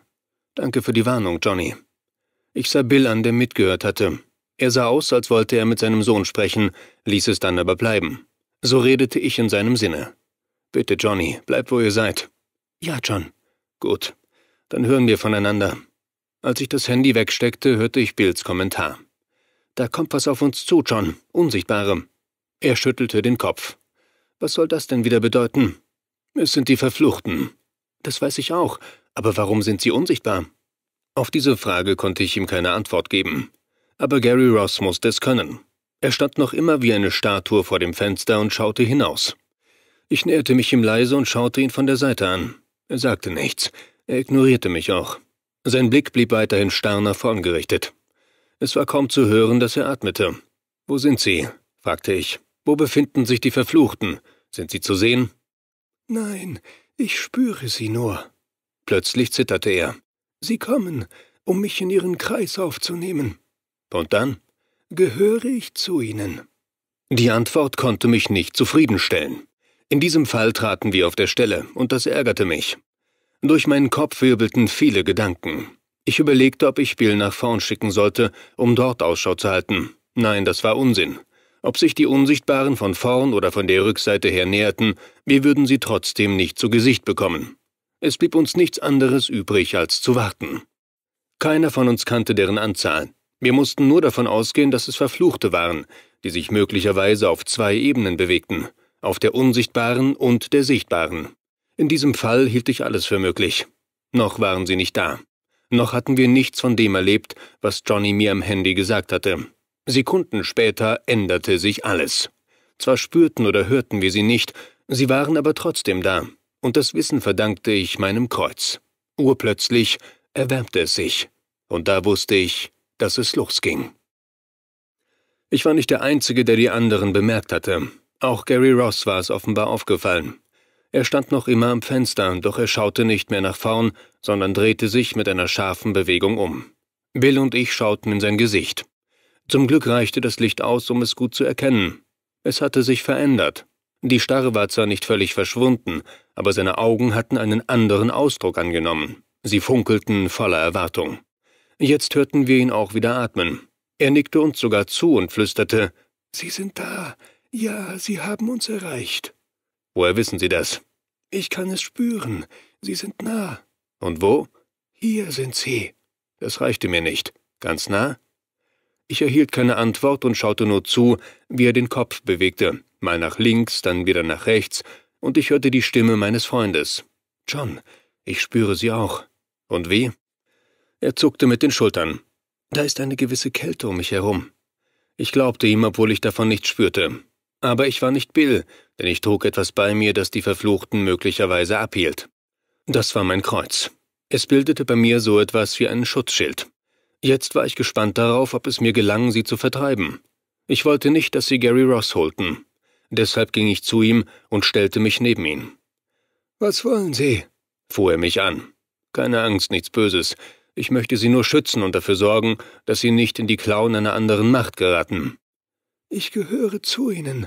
Ich bin ein Verfluchter. Ich habe getan, was Sie wollten. Ja, das hatte er. Seine eigene Frau hat er umgebracht. Und doch wollte ich nicht, dass er vollends in diesen mörderischen Strudel geriet. Ich sah, dass Bill zur Seite glitt und sich dabei bewegte, als wollte er jemandem ausweichen. Dabei gab er seinen Kommentar ab. Sie sind noch immer in der Nähe, John. Ich höre Sie flüstern. Und was sagen Sie? Jetzt musste er lachen. Sie haben Probleme, und ich denke, dass du das Problem bist. Konnte ich mir vorstellen, denn ich besaß das Kreuz. Zu nahe würden Sie nicht an mich herankommen können, aber ich an Sie, und von Bill wollte ich wissen, wo Sie sich ungefähr aufhielten. Eigentlich überall. Ihr Flüstern höre ich von allen Seiten. Ich denke, man muss etwas tun. Der Meinung war ich auch. Leider nicht allein. In den vergangenen Sekunden hatte ich nicht auf Gary Ross geachtet. Der hatte Zeit genug gehabt, um sich einen Plan zurechtzulegen, und den führte er urplötzlich aus. Ich bin hier, schrie er und riss seine Arme hoch. Jetzt will ich zu euch, nehmt mich. Er blieb nicht stehen, sondern lief sofort mit schnellen Schritten auf die Tür zu. Genau in dem Moment startete ich auch. Auf keinen Fall wollte ich Gary Ross den Verfluchten überlassen. Benny Ross hatte seinen Schock überstanden er hatte auch mitbekommen, dass Johnny ein Telefongespräch geführt hatte und wollte wissen, mit wem. Mit John Sinclair. Benny erschrak. Er richtete sich jetzt auf. Aber der befindet sich noch im Haus. Das stimmt. Und was sagt er? Johnny überlegte sich die Antwort. Ich habe ihn vor den Unsichtbaren gewarnt. Er erwartete, dass Benny etwas sagte, was er nicht tat. Er blieb stehen, wippte gegen den Drahtzaun und hatte sich dann gefangen. Dann war es doch keine Täuschung. Was meinst du?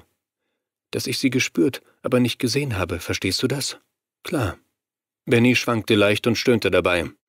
Ich habe mir gewünscht, dass es nicht wahr ist, aber jetzt. Er zog die Nase hoch. Dann ist auch meine Mutter tot. Johnny antwortete nicht. Sein Blick jedoch sprach Bände, das stellte auch Benny fest. Er hielt es nicht mehr aus. Er schüttelte heftig den Kopf und rief Ich muss hier weg, ich muss zu meinem Vater, ich muss ihn warnen, egal was er getan hat. Er ist immer noch mein Vater, verstehst du? schrie er Johnny an. Ja, das verstehe ich, aber wir sollten trotzdem aufpassen und vorsichtig sein. Nein, nicht mehr. Bennys tränennasses Gesicht wurde zu einer Grimasse. Dann warf er sich herum, weil er den Zaun für seine Aktion vor sich haben wollte. Johnny ahnte sein Vorhaben. Er wollte den Freund noch zurückhalten, doch es war zu spät. Denn wie eine Katze war Benny an dem Zaun in die Höhe geklettert und schwang sich bereits darüber hinweg auf die andere Seite. Ich sah zwar Gary Ross, aber ich sah die Verfluchten nicht. Trotzdem wusste ich, wo sie waren. Sie hielten sich in seiner Nähe auf. Er spürte sie, was auch mir bald gelingen musste, denn das Kreuz würde mir eine genauere Auskunft geben. Ein langer Satz brachte mich nach vorn, und dann glaubte ich, woanders zu sein. Ich hatte eine unsichtbare Grenze überwunden, das Kreuz gab seine Strahlen ab, obwohl ich es nicht aktiviert hatte. Aber diese Strahlen hatte diesmal nicht die normale Kraft und Energie, Sie waren schwächer, aber sie reichten aus, um so etwas wie eine Insel zu bilden und auch einen Schutz, der mich umgab. Ich fühlte mich plötzlich als Mittelpunkt, um mich herum entstand ein Bild. Was als Geist hier eingedrungen war, hatte seine Unsichtbarkeit verloren. Etwas entstand um mich herum. Nebelhaft rahmten mich die Fratzen ein. Sie erschienen, tauchten dann wieder weg, waren erneut in meiner Nähe. Sie sahen irgendwie menschlich aus, auch wenn die Gesichter bis ins Groteske verzogen waren. Man konnte davon ausgehen, dass sie entstanden waren, um Menschen Angst einzujagen. Sie wollten ein Opfer. Sie hatten sich Gary Ross ausgesucht, der zu Boden gefallen war. Ich sah ihn vor meinen Füßen liegen.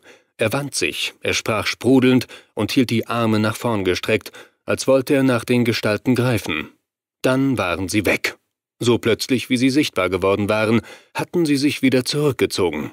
Ich sah nichts mehr von ihnen, auch nicht, als ich mich um die eigene Achse drehte. He, das war ein Ding, hörte ich Bill Connolly murmeln. Hast du sie auch gesehen? Schwach, aber sie waren da. Ich wollte noch etwas hinzufügen. Vom Boden her hörte ich ein leises Stöhnen. Mein Blick fiel nach unten und ich sah Gary Ross am Boden liegen. Er hatte die Hände vor sein Gesicht geschlagen und berührte dabei auch seine Lippen. Deshalb klang das Stöhnen abgeschwächt. Ich beugte mich über ihn. Kommen Sie wieder hoch, es ist vorbei. Sie müssen sich nicht mehr fürchten. Ich musste meine Bitte zweimal wiederholen, erst dann reagierte er. Der Mann richtete sich auf. Er blieb zunächst sitzen und drehte den Kopf, weil er sich davon überzeugen wollte, ob ich recht hatte. Bill ließ ihn in Ruhe. Er schaute sich um und sah ein leeres Zimmer. Es gab weder sichtbare noch unsichtbare Gestalten. Ich reichte dem Mann die Hand. Kommen Sie hoch. Als er schließlich stand, ging er sofort bis zu einem Sessel, auf den er sich niederließ. Dabei schaute er ins Leere und vermied es, einen Blick auf die Leiche zu werfen. Wenn mir eine Auskunft geben konnte, dann war es dieser Mann. Wir hatten zwar so etwas wie einen Angriff erlebt, doch das brachte uns nicht weiter. Wir wollten mehr wissen. Jetzt sind Sie an der Reihe, Mr. Ross, sprach ich ihn an und bückte mich. Nur Sie können uns aufklären. Was genau wird hier gespielt, reden Sie. Er hob den Blick. Sein Zittern war nicht zu übersehen. Die Hände hatte er zu Fäusten geballt und gab dann mit kratziger Stimme die erste Antwort. Ich bin verflucht. Ich nickte. Ja, das wissen wir. Aber wie ist das möglich? Es muss einen Grund geben. Man wird nicht so einfach verflucht und basta. Was war los? Ich war bei Ihnen. Gut, und wo? Er schüttelte den Kopf und senkte den Blick. Ein Zeichen, dass er nicht mehr sprechen wollte. Bill stellte sich an meine Seite. Verdammt nochmal, Sie müssen reden. Was hat man mit Ihnen gemacht? Wozu hat man Sie gemacht? Zu einem Mörder? Ja, Sie sind ein Mörder. Sie haben Ihre Frau getötet. Und ich denke mir, dass Sie auch vor Ihrem Sohn nicht Halt machen würden. Ross hatte die Anklage gehört und hob den Kopf, um dem Reporter in die Augen zu schauen. Er wiederholte, dass er verflucht war und dazu auch stand. Ich komme nicht mehr weg, ich weiß das. Ich gehöre zu Ihnen und werde bald ganz zu Ihnen gehören. Frag weiter, flüsterte Bill mir zu. Ich habe heute nicht die nötigen Nerven. Okay. Wer hat Sie verflucht, Mr. Ross? Und wo ist das geschehen? Nicht hier. Das kann ich mir denken. Wo dann? Sie haben ein Haus.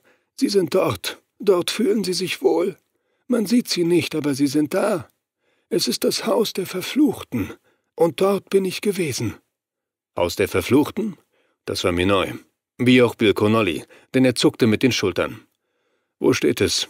Gary Ross runzelte die Stirn. Es liegt einsam, aber nicht weit von hier. Genauer. In einem Wald. Und Sie kennen den Weg? Ja. Läuft besser, als ich dachte, meinte Bill. Der Meinung war ich auch. Manchmal muss man eben Glück haben, und diese Spur würden wir nicht mehr aus den Augen lassen, sondern ihr bis zum Ende folgen. Dass er ein Mörder war, wussten wir. Normalerweise hätten wir ihn den Kollegen übergeben müssen. Das aber wollten wir nicht sofort. Denn wenn uns jemand zum Ziel führen konnte, dann war er es. Es gibt also ein Haus, fasste ich zusammen. Ja, ja. Und es liegt nicht weit von hier. Er nickte. Dann können wir hinfahren. Diesmal gab er noch keine Antwort und dachte erst nach. Auf seiner Stirn entstanden Falten. Ich fasste mich in Geduld, was Bill Connolly nicht wollte. Du schaffst das hier allein. Ich schaue mich mal nach Johnny und seinem Freund um. Tu das. Bill verließ das Zimmer. Ich blieb mit Gary Ross allein zurück. Wenn ich ihn mir so betrachtete, dann sah ich einen Mann vor mir, der einen normalen Eindruck machte. Nichts wies darauf hin, was tatsächlich in ihm steckte. Wie sind Sie zu diesem Haus gekommen? erkundigte ich mich. Zufall, glaube ich. Wieso glauben Sie das? Ich habe es entdeckt. Das passierte sehr plötzlich. Damit habe ich nicht rechnen können, ganz und gar nicht. Es war auf einer meiner Autofahrten. Ich bekam Probleme mit dem Wetter. Es hat geschüttet und die Straßen wurden zu Bächen. Dann habe ich das Haus gesehen und wollte Schutz darin suchen. Es sah so leer aus, aber das war es nicht. Es wurde bewohnt. Es waren die Verfluchten, und als ich bei ihnen war, haben sie mich auch verflucht. Jetzt gehöre ich zu ihnen, und ich tue das, was ich tun muss. Sie morden. Er senkte den Kopf. Ich kann nicht anders. Nur so kann ich mich retten. Wie meinen Sie das denn? Ich will zu Ihnen gehören, ganz zu Ihnen. Ich will mich in Ihre Gruppe einreihen. Ich hatte nur mit einem Ort zugehört. Zugleich beschäftigte mich etwas, das ich einfach nicht los wurde. Dieser Mensch wusste, wo sich das Haus der Verfluchten befand. Ich wusste es nicht, aber ich wollte es herausfinden. Hören Sie zu, Mr. Ross. Sie haben von diesem Haus gesprochen. Ich will es sehen und untersuchen. Und Sie werden meinen Freund und mich begleiten, wenn wir dorthin fahren. Er sah aus wie jemand, der überrascht worden war. Eine Antwort fand er zunächst nicht. Schließlich raffte er sich zu einer Frage auf. Sie wollen dorthin? Ich hatte das Lauern in seiner Stimme nicht überhört. Sie haben richtig verstanden, ich will dorthin. Und dann? Werden wir weitersehen. Vielleicht möchte ich auch gern in diesen Kreis aufgenommen werden. Er riss seinen Mund auf. Tief in seiner Kehle entstand ein Lachen, das sich nicht eben nett anhörte. Dann schüttelte er den Kopf und winkte ab. Sie werden mich hinbringen. Ja, schon gut, wir können fahren. Das Haus wartet bestimmt noch. In der Nacht erwacht es zum Leben. Dann sind Sie da. Umso besser. Aus dem Flur hörte ich Schritte, dazu ein heftiges Atmen. Wenig später stand Bill Connolly vor mir. Zu sagen brauchte er nichts. Ich sah es seinem Gesicht an, dass etwas passiert war. Was hast du für ein Problem? Sie sind verschwunden. Im ersten Moment begriff ich nicht. Bitte, von wem redest du? Von Johnny und Benny. Das war natürlich nicht so vorgesehen. Ich war sprachlos. Bill betrat das Zimmer, und wischte mit dem Handrücken über seine feuchte Stirn. Er sah alles andere als glücklich aus. Diesen Ausdruck in seinem Gesicht kannte ich. Er machte sich Sorgen, er quälte sich. Das ist doch nicht normal, John. Ich kenne meinen Sohn. Der verschwindet nicht einfach so. Das stimmt. Dann gibt es nur eine Möglichkeit. Bill sprach sie nicht aus. Das überließ er mir. Da ich ähnliche Gedanken verfolgte wie er, kam ich nur zu einem Ergebnis. Man hat sie geholt, entführt. Ihn und Benny Ross. Bill presste seine Lippen hart zusammen. Allein diese Reaktion bewies mir, dass er so dachte wie ich. Und er sagte, es können nur die Gestalten gewesen sein, diese Verfluchten oder die Geister davon. Sehe ich auch so. Bill kam einen Schritt näher. Sein Gesicht glänzte. Ein Zeichen, dass er schnell gelaufen war. Und wohin hat man sie geschafft? Weißt du das auch? In ein Haus. Ins Haus der Verfluchten. Was? Ruhig flüsterte ich, keine Panik jetzt. Ich legte ihm dar, was ich gehört hatte, und sah, dass mein Freund sehr unruhig wurde. Ihm brannte jetzt die Zeit auf den Nägeln. Kennst du den Weg dorthin? Nein, nicht ich. Aber Gary Ross kennt ihn. Ich weiß genau, dass er uns zu diesem Haus bringen wird. Ach, tatsächlich? Bill ging einen Schritt auf den Mann zu. Seine Haltung zeigte eine leichte Drohgebärde, die ich stoppte, denn ich streckte ihm meine Hand entgegen. Lass es. Bill brauchte einige Sekunden, um sich zu beruhigen. Gut, dann werde ich mich fügen. Aber ich will meinen Sohn zurückhaben, verstehen Sie das? Gary Ross zeigte ein breites Grinsen. Ich bin verflucht, flüsterte er. Ich gehöre zu Ihnen. Sie haben mich holen wollen und. Warum sind Sie normal? fragte ich. Warum erleben wir Sie nicht als Geist? Sie gehören doch dazu. Sein Blick wurde böse. Ja, das stimmt. Nur noch nicht ganz. Ich soll erst so werden wie Sie. Ich habe meine Prüfung bestanden. Sie sind gekommen, um sich zu überzeugen. Sie müssten eigentlich zufrieden sein. Ich gehe davon aus, und jetzt bin ich bereit für Sie. Das sollen Sie auch, erklärte ich, aber nicht allein. Sie werden uns begleiten. Ich nickte ihm zu. Und Sie werden uns zum Haus der Verfluchten führen. Gerne, erwiderte er leise.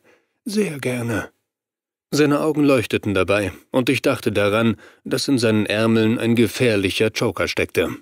Der Besuch im Haus der Verfluchten würde kein Spaß werden. Ich fragte auch nicht nach, warum es diesen Namen bekommen hatte. Wichtig war, dass wir es so schnell wie möglich erreichten und unsere Konsequenzen zogen. Der ist verrückt, dachte Johnny. Das kann er doch nicht machen, das ist Wahnsinn.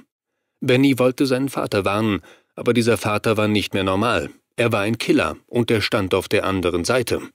Es war verrückt und Johnny wusste, dass sich Benny durch Rufen nicht von seinem Vorhaben abbringen lassen würde. Deshalb gab es nur die Möglichkeit der Verfolgung. Und so kletterte auch Johnny am Maschendrahtzaun in die Höhe. Es war kein leichtes Unterfangen, denn der Zaun bog sich nach innen. Und Johnny hatte das Gefühl, in Zeitlupentempo zu fallen. Es ging alles glatt. Er kam gut auf. Hinter ihm bog sich der Zaun wieder in seine alte Stellung. Johnny stand im Garten. Er blickte nach vorne, weil er sehen wollte, wohin sein Kumpel lief. Bennys Ziel war das Haus, das er eigentlich längst hätte erreichen müssen. Das war nicht der Fall. Er stand einige Meter vor Johnny und drehte ihm den Rücken zu.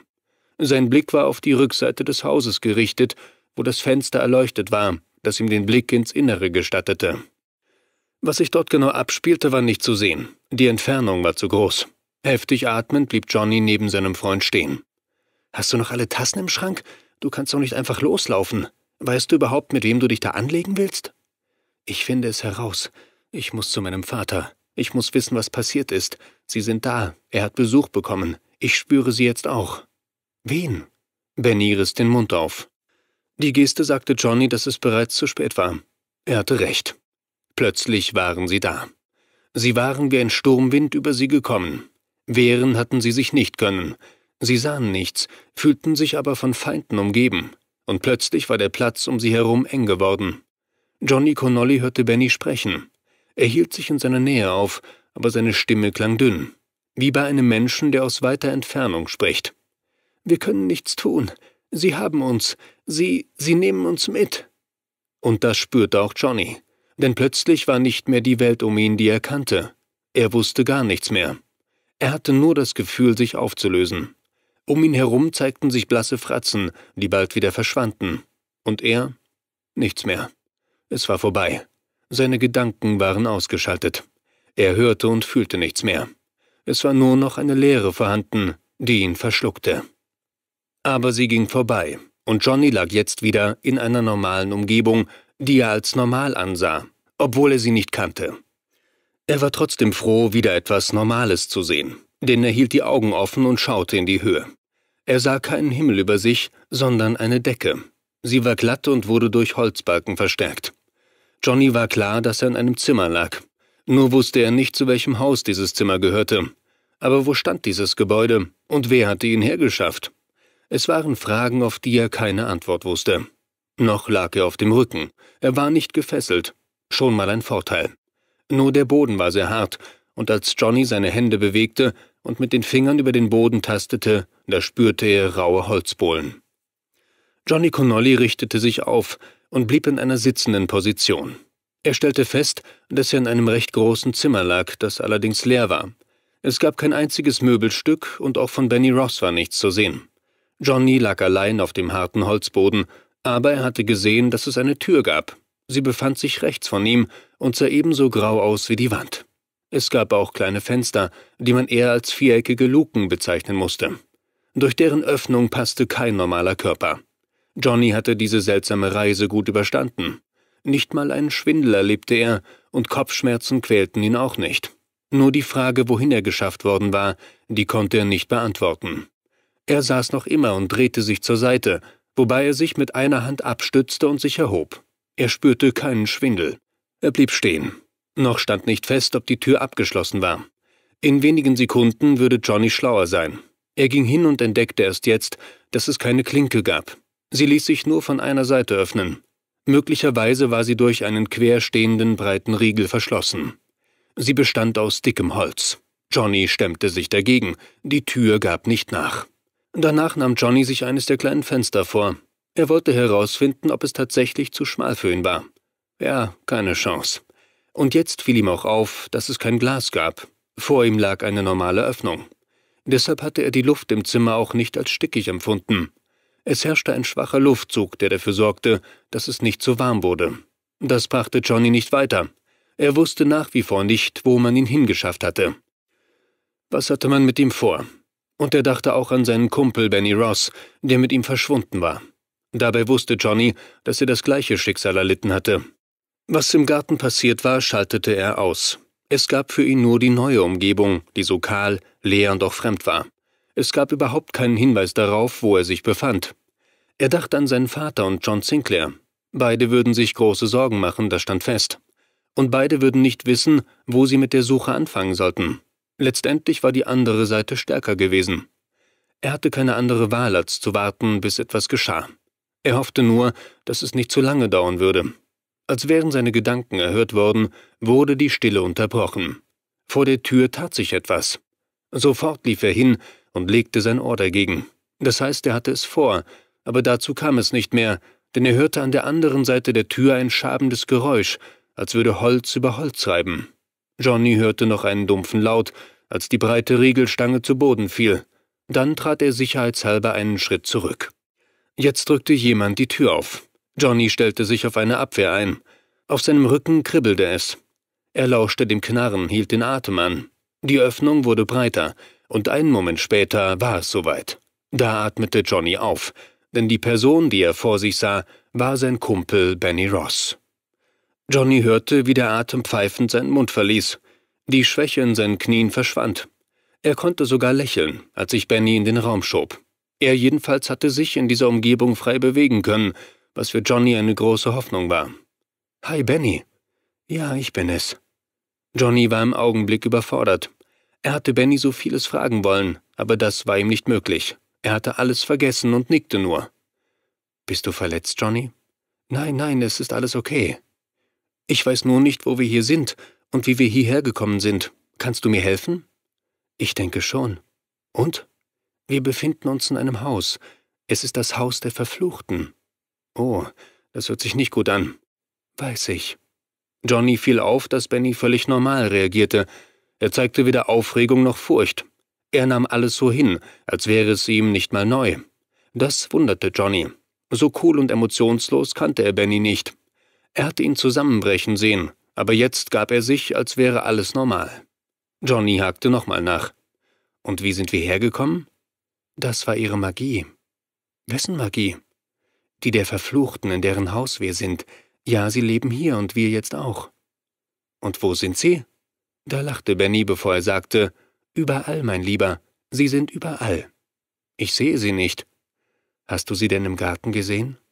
Die Frage gefiel Johnny vom Unterton her nicht, er konnte sich gut vorstellen, dass sich sein Freund nicht mehr auf seiner Seite befand. Ich habe sie nicht im Garten gesehen, und ich sehe sie auch jetzt nicht.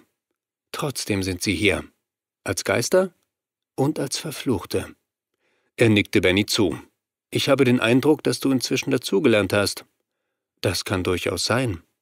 Johnny sah das leichte Grinsen auf Bennys Lippen. Auch das gefiel ihm nicht.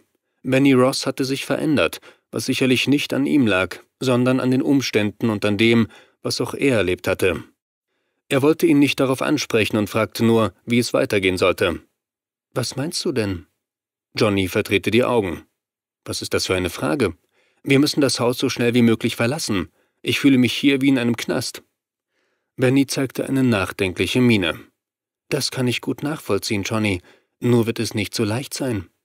Aber wir können uns frei bewegen, wir sind nicht gefesselt, verdammt. Richtig. Ich fürchte nur, dass die andere Seite etwas dagegen hat. Meinst du die Verfluchten? Wen sonst? Johnny hatte es für einen Moment die Sprache verschlagen.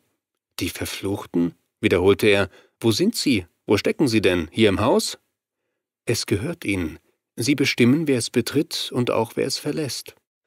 Benny musste nicht mehr viel sagen. Allmählich wurde Johnny Connolly klar, dass er sich in einem Gefängnis befand, was Benny Ross für ihn befremdlich locker hinnahm. Sein Freund schien sich irgendwie mit der anderen Seite arrangiert zu haben.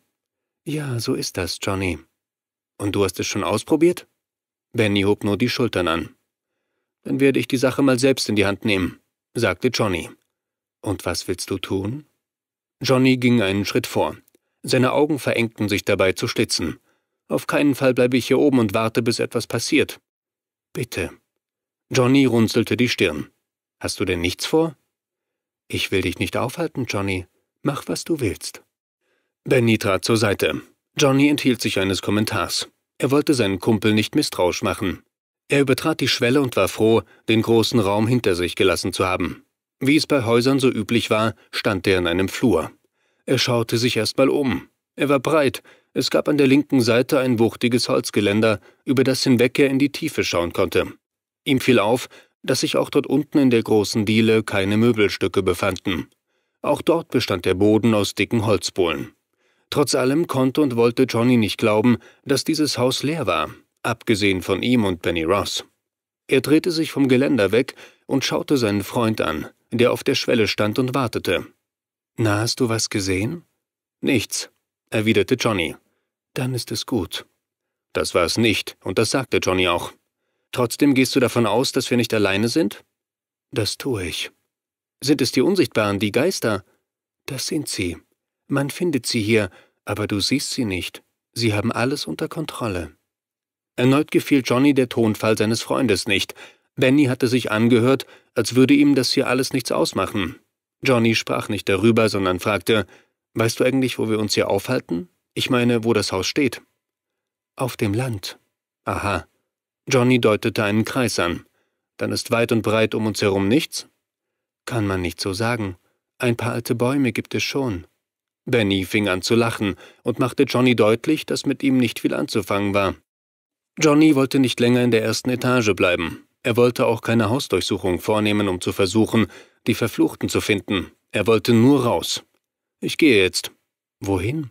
Nach draußen. Ich will nicht mehr länger hier im Haus bleiben. Und sollte die Tür verschlossen sein, werde ich versuchen, durch ein Fenster ins Freie zu klettern. Bitte, tu, was du willst. Kommst du denn mit? Später vielleicht. Auch das war wieder eine Antwort gewesen, die Johnny nicht gefiel. Er konnte nichts dagegen tun und wollte es auch nicht. Er ging vielmehr davon aus, dass er sich nicht mehr auf Benny verlassen konnte und jetzt auf sich allein gestellt war. Er ließ die Treppe hinter sich, die in den hallenartigen Raum auslief. Dort blieb er vor der ersten Stufe stehen und bewegte seinen Kopf, weil er alles überblicken wollte. Er sah eine Tür, die Ähnlichkeit mit der aufwies, durch die er erst vor kurzem gegangen war. Er konnte nur hoffen, dass sie nicht abgeschlossen war. Ein wenig komisch war ihm schon, als er sich der Tür mit kleinen Schritten näherte. Sein Herz klopfte schneller als gewöhnlich. Je näher er seinem Ziel kam, umso stärker zog sich die Haut auf seinem Rücken zusammen. Ihm wurde kalt, und er wünschte sich die Nerven seines Freundes und Taufpaten John Sinclair. Es war um ihn herum kälter geworden, im Nacken zog sich seine Haut zusammen, und er wäre nicht überrascht gewesen, plötzlich einen Angriff zu erleben. Es passierte nichts. Johnny war selbst überrascht, als er die Tür vor sich sah. Und sie hatte auch eine Klinke, die Johnny für einen Moment anstarrte, bevor er zugriff. Den Schrei unterdrückte er im letzten Augenblick. Blitzschnell zog er seine Hand wieder zurück, so hastig, als wäre die Klinke glühend gewesen. Das aber war sie nicht. Das Gegenteil war der Fall. Das Metall war eiskalt. Und er wedelte mit der Hand, wobei er einen Schritt zurücktrat. Sein Optimismus hatte einen harten Schlag erhalten. Jetzt ging es allein darum, nicht die Nerven zu verlieren. Johnny ging noch weiter von der Tür weg, um Platz für den Blick nach oben zu haben. Über das dicke Holzgeländer hatte sich sein Freund Benny Ross gebeugt. Da zwischen den Deckenbalken Lichter angebracht waren, sah Johnny Benny recht gut, der ihm jetzt zuwinkte. Ich habe es dir doch gesagt, so einfach kann man das Haus nicht verlassen. Und warum nicht? Denk daran, wo du bist. Im Haus der Verfluchten. Wenn sie etwas nicht wollen, passiert es auch nicht. Sie haben das Haus unter Kontrolle. Das scheint dir wohl nichts auszumachen wenn ich dich so reden höre. Ich bin eben einen anderen Weg gegangen. Er hob die Arme an und breitete sie aus. Ja, das ist er, dachte Johnny. Und ich muss damit rechnen, dass er nicht mehr auf meiner Seite steht und ich in eine Falle geraten bin. Aber auch das wollte Johnny nicht akzeptieren. Er war ein Connolly, und er wusste von seinem Vater, dass man nicht so schnell aufgeben durfte. Da gab es noch die Fenster. Sie waren größer als die in der ersten Etage, obwohl Johnny nicht viel Hoffnung hatte, wollte er es versuchen. Er hätte sich sonst selbst in den Hintern getreten. Nur wenige Schritte musste er gehen, dann hatte er es geschafft, dachte er, denn als er den Arm ausstreckte, um einen Fenstergriff zu umklammern, waren sie plötzlich da. Er sah sie nicht, er hörte sie nur. Sie drängten sich an ihn heran, sie umtanzten ihn, und sein Gehör wurde von zischenden Lauten erfüllt. Johnny riss die Augen weit auf, als plötzlich vor seinem Gesicht eine Gestalt tanzte. Es war ein Schemen, vielleicht auch eine Spiegelung. Trotzdem erkannte er zwei, drei Gesichter. Er begriff, dass man versuchte, ihn aufzuhalten, und so warf er sich nach vorn, um das Fenster trotz allem zu erreichen. Es klappte nicht. Warum er den Boden unter den Füßen verlor, wusste er nicht. Es war so, und er schwebte plötzlich zwischen Decke und Fußboden. Wieder überkam ihn ein ähnliches Gefühl wie beim Verschwinden innerhalb des Gartens. Johnny hatte keine Kontrolle mehr über seinen Körper. Die andere Seite, die Verfluchten, machten mit ihm, was sie wollten. Er verlor an Halt und kippte nach hinten. Mit schnellen Beinbewegungen wollte sich Johnny noch halten. Er trat dabei einige Male auf der Stelle und schaffte es nicht. Die andere Kraft war stärker. Etwas zerrte an Johnny und riss ihn zu Boden. Diesmal gelang es ihm nicht, sich zu fangen. Er schlug auf und sorgte nur dafür, dass durch schnelles Anheben sein Hinterkopf verschont blieb. Mehr konnte er nicht tun, denn die andere Seite war stärker, und sie würde sich um Johnny kümmern. Wir hatten London in nordöstlicher Richtung verlassen. Ich fuhr, Bill saß auf dem Rücksitz und neben ihm Gary Ross, dessen Hände in Handschellen steckten, die wiederum mit dem Haltegriff schräg über ihm verbunden waren. Viel hatte uns Gary Ross nicht gesagt, und nur von einem Ort namens Chipping Onga gesprochen. Jedenfalls sollten wir in diese Richtung fahren, was wir auch taten. Das GPS half mir dabei. Ross blieb auch weiterhin still und schaute durch das Fenster in die Nacht. Bill Connolly wollte mehr wissen. Ist Chipping Onga das Ziel? Nein, aber ein Anlaufpunkt. In dessen Nähe auch das Haus liegt? Ja. Bill fragte weiter. Und warum nennt man diese Bude das Haus der Verfluchten? Weil sie darin leben, Leben? Ja, das ist eine Art von Leben. Sie sind dabei nur verflucht. Und wer hat es getan? Gary Ross ließ sich Zeit mit der Antwort. Es ist schon sehr lange her, sagte er schließlich. Da sind sie verflucht worden, alle in diesem Haus. Was haben sie denn getan?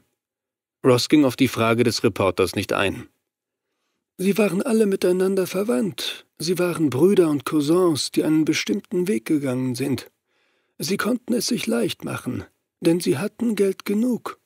Und so kauften sie sich ihre Vergnügen. Immer wieder waren es Frauen oder junge Mädchen. Die schleppten sie in ihr Haus und trieben es mit ihnen. Alles, was man sich vorstellen kann, zogen sie durch. Es heißt, dass nicht alle der jungen Frauen überlebt haben. So wird es auch bei Kathy Selkirk gewesen sein. Hat man sie auch in das Haus geholt? fragte ich. Ja, das hat man. Sie aber überlebte. Sie kroch nach Hause und hat ihren Eltern alles erzählt. Die konnten diese Schande nicht auf Käfi und sich selbst sitzen lassen. Beide wussten, wo das Grauen stattgefunden hatte. Als sich die Kerle wieder mal ein Mädchen holten, sind die Eltern hingegangen. Sie hatten sich Waffen besorgt und erschienen wie zwei Racheteufel bei dieser Orgie. Keiner überlebte. Sie schossen alle nieder, und der Vater verfluchte sie.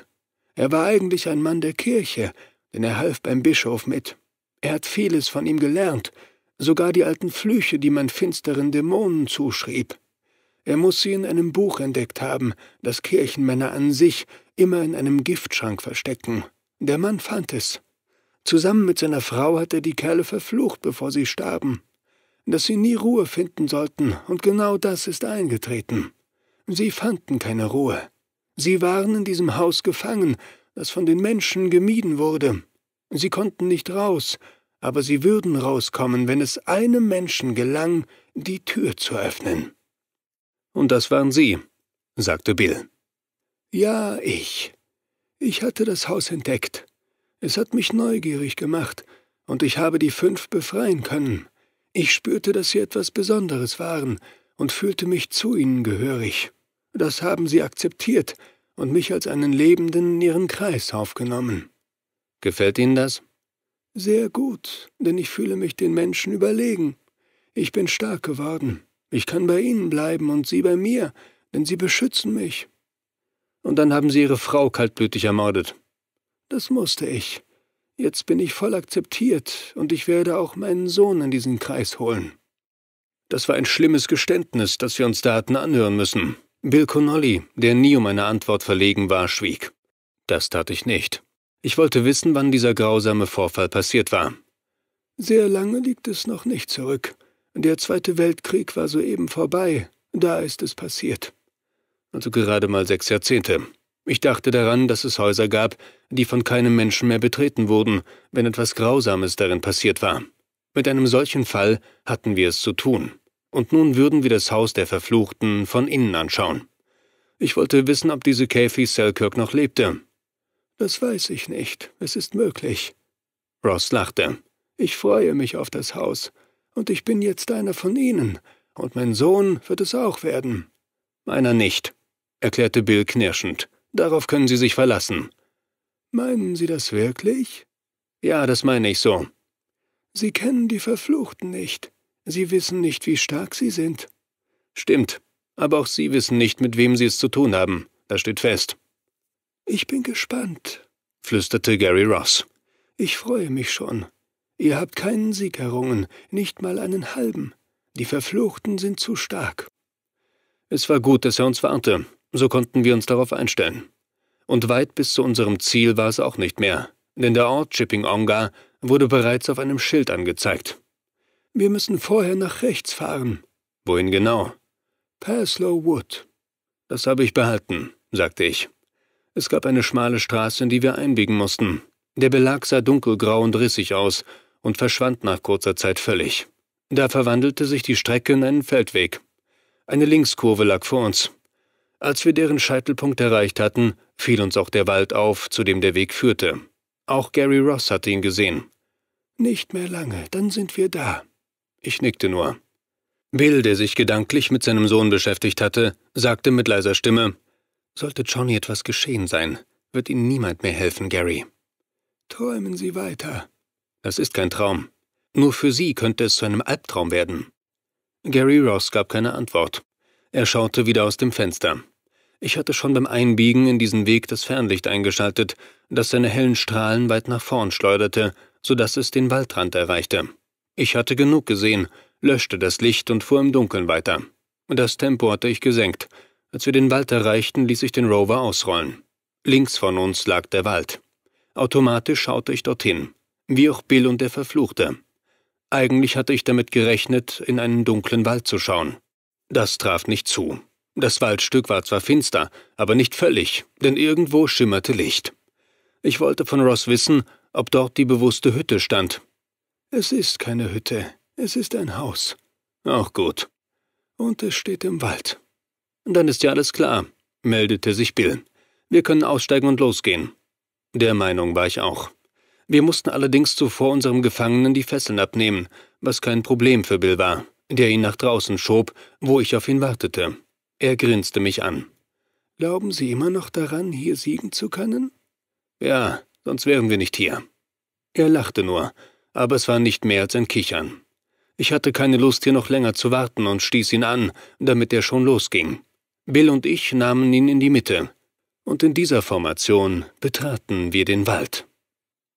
Keine Handfesseln, keine Stricke, die seine Füße umspannten, Dennoch fühlte sich Johnny Connolly gefesselt oder gelähmt, als er auf dem Boden lag und Benny vor ihm stand. Er war der Sieger, und er hatte eine entsprechende Haltung eingenommen. Breitbeinig stand er da, die Arme angewinkelt, die Hände zu Fäusten geballt und in die Seiten gestemmt, ein überhebliches Grinsen auf den Lippen. Du hast keine Chance. Und warum nicht? Benny leckte mit seiner Zunge die Umrisse seines Mundes nach, was Johnny als widerlich ansah. Erst als die Zunge verschwunden war, gab er die Antwort. Weil du dich im Haus der Verfluchten befindest. Hier regiert der Tod, das habe ich von meinen neuen Freunden erfahren. Hier ist der Boden noch mit dem Blut der Sterbenden getränkt, und mir hat man die Chance gegeben, in den Kreis aufgenommen zu werden. Ich und mein Vater, wir werden ein starkes Team bilden, das unbesiegbar ist. Johnny hatte jedes Wort verstanden. Sprach so ein Mensch, der vor kurzem erst seine Mutter durch einen Mord verloren hatte? Nein, das war für ihn nicht zu fassen. Das war nicht mehr der normale Benny, der vor ihm stand, sondern ein Mensch, den finstere Mächte manipuliert hatten und dem es nun Spaß machte, damit zu leben. Zu leben und all das zu tun, um diesen Mächten gerecht zu werden. Johnny hielt den Mund. Er wusste auch nicht, was er sagen sollte. Ein Blick in dieses kalte, gefühllose Gesicht reichte ihm.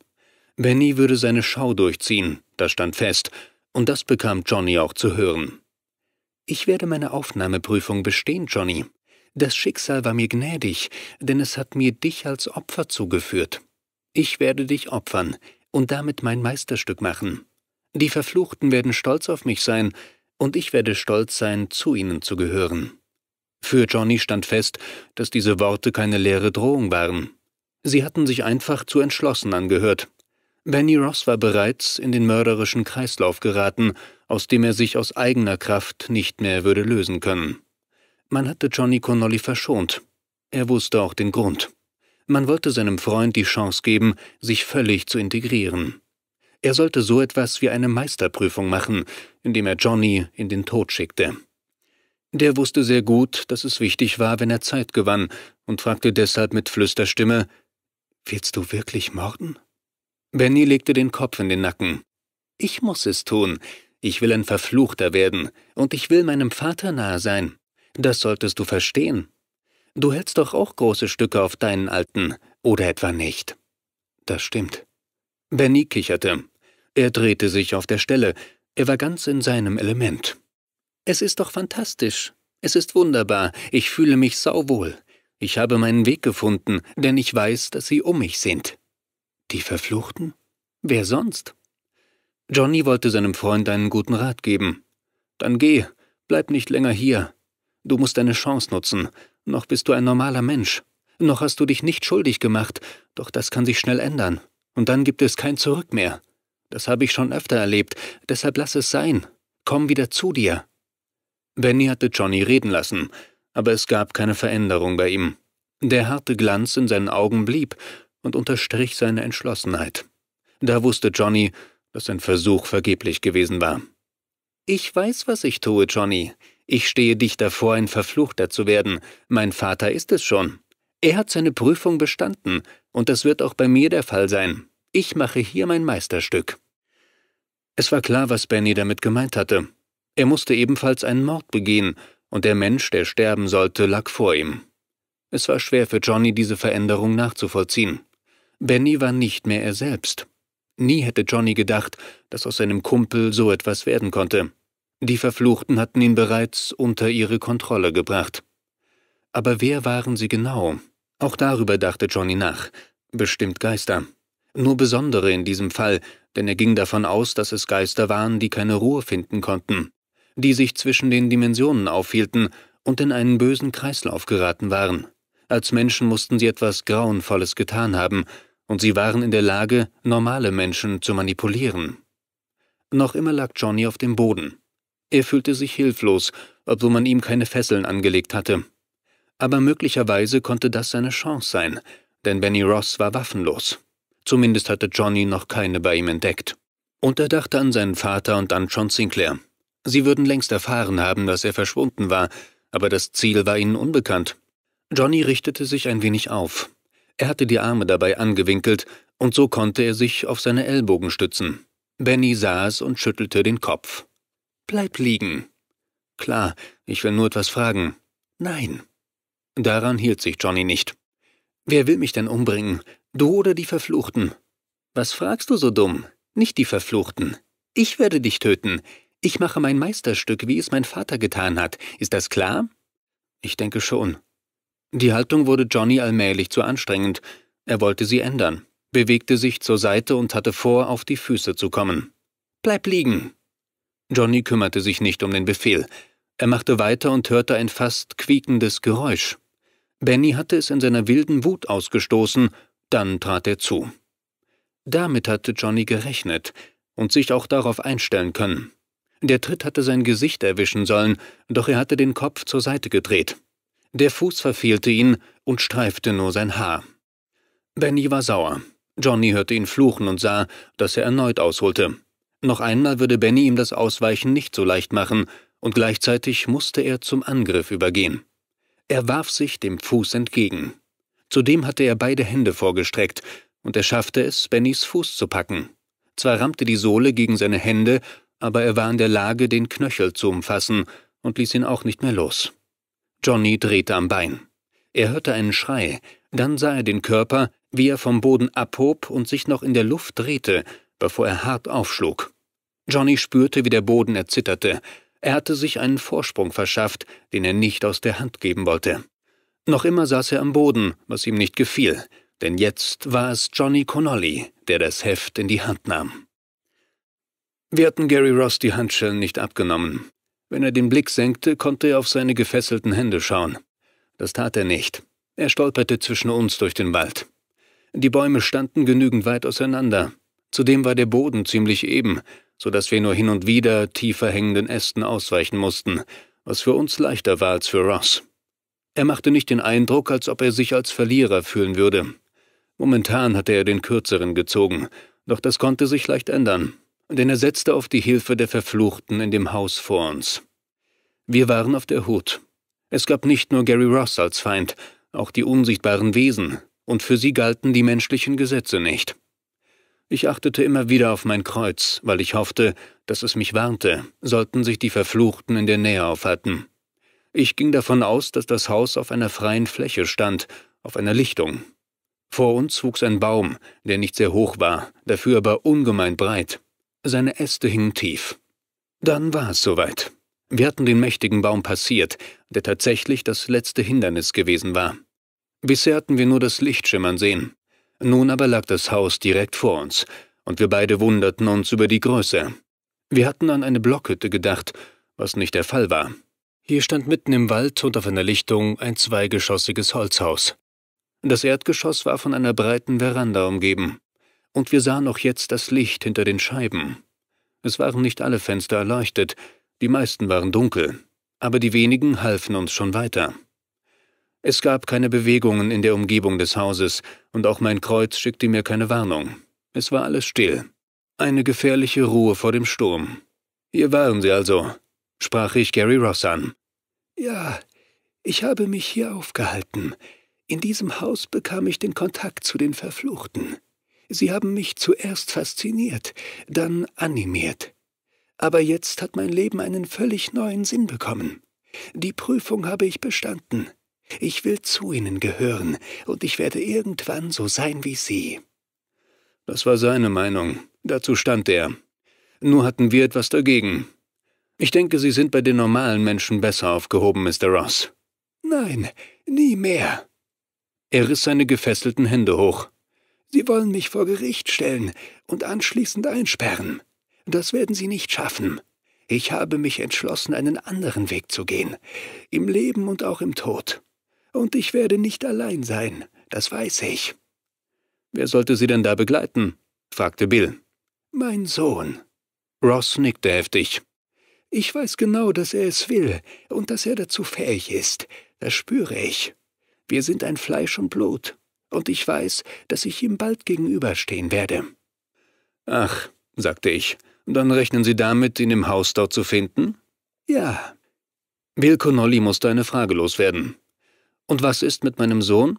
Er ist ebenfalls verschwunden, vielleicht zusammen mit Benny. Meinen Sie, dass er sich auch in diesem Haus aufhält? Davon bin ich überzeugt.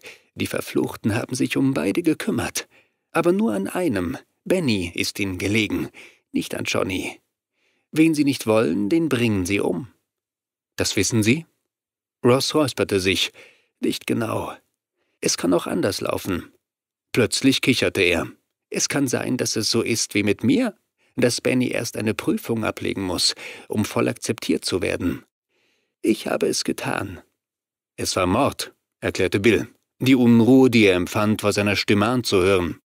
Ja, das war es. Nur so werden wir akzeptiert. Ich denke, dass Benny ebenso handeln wird wie ich.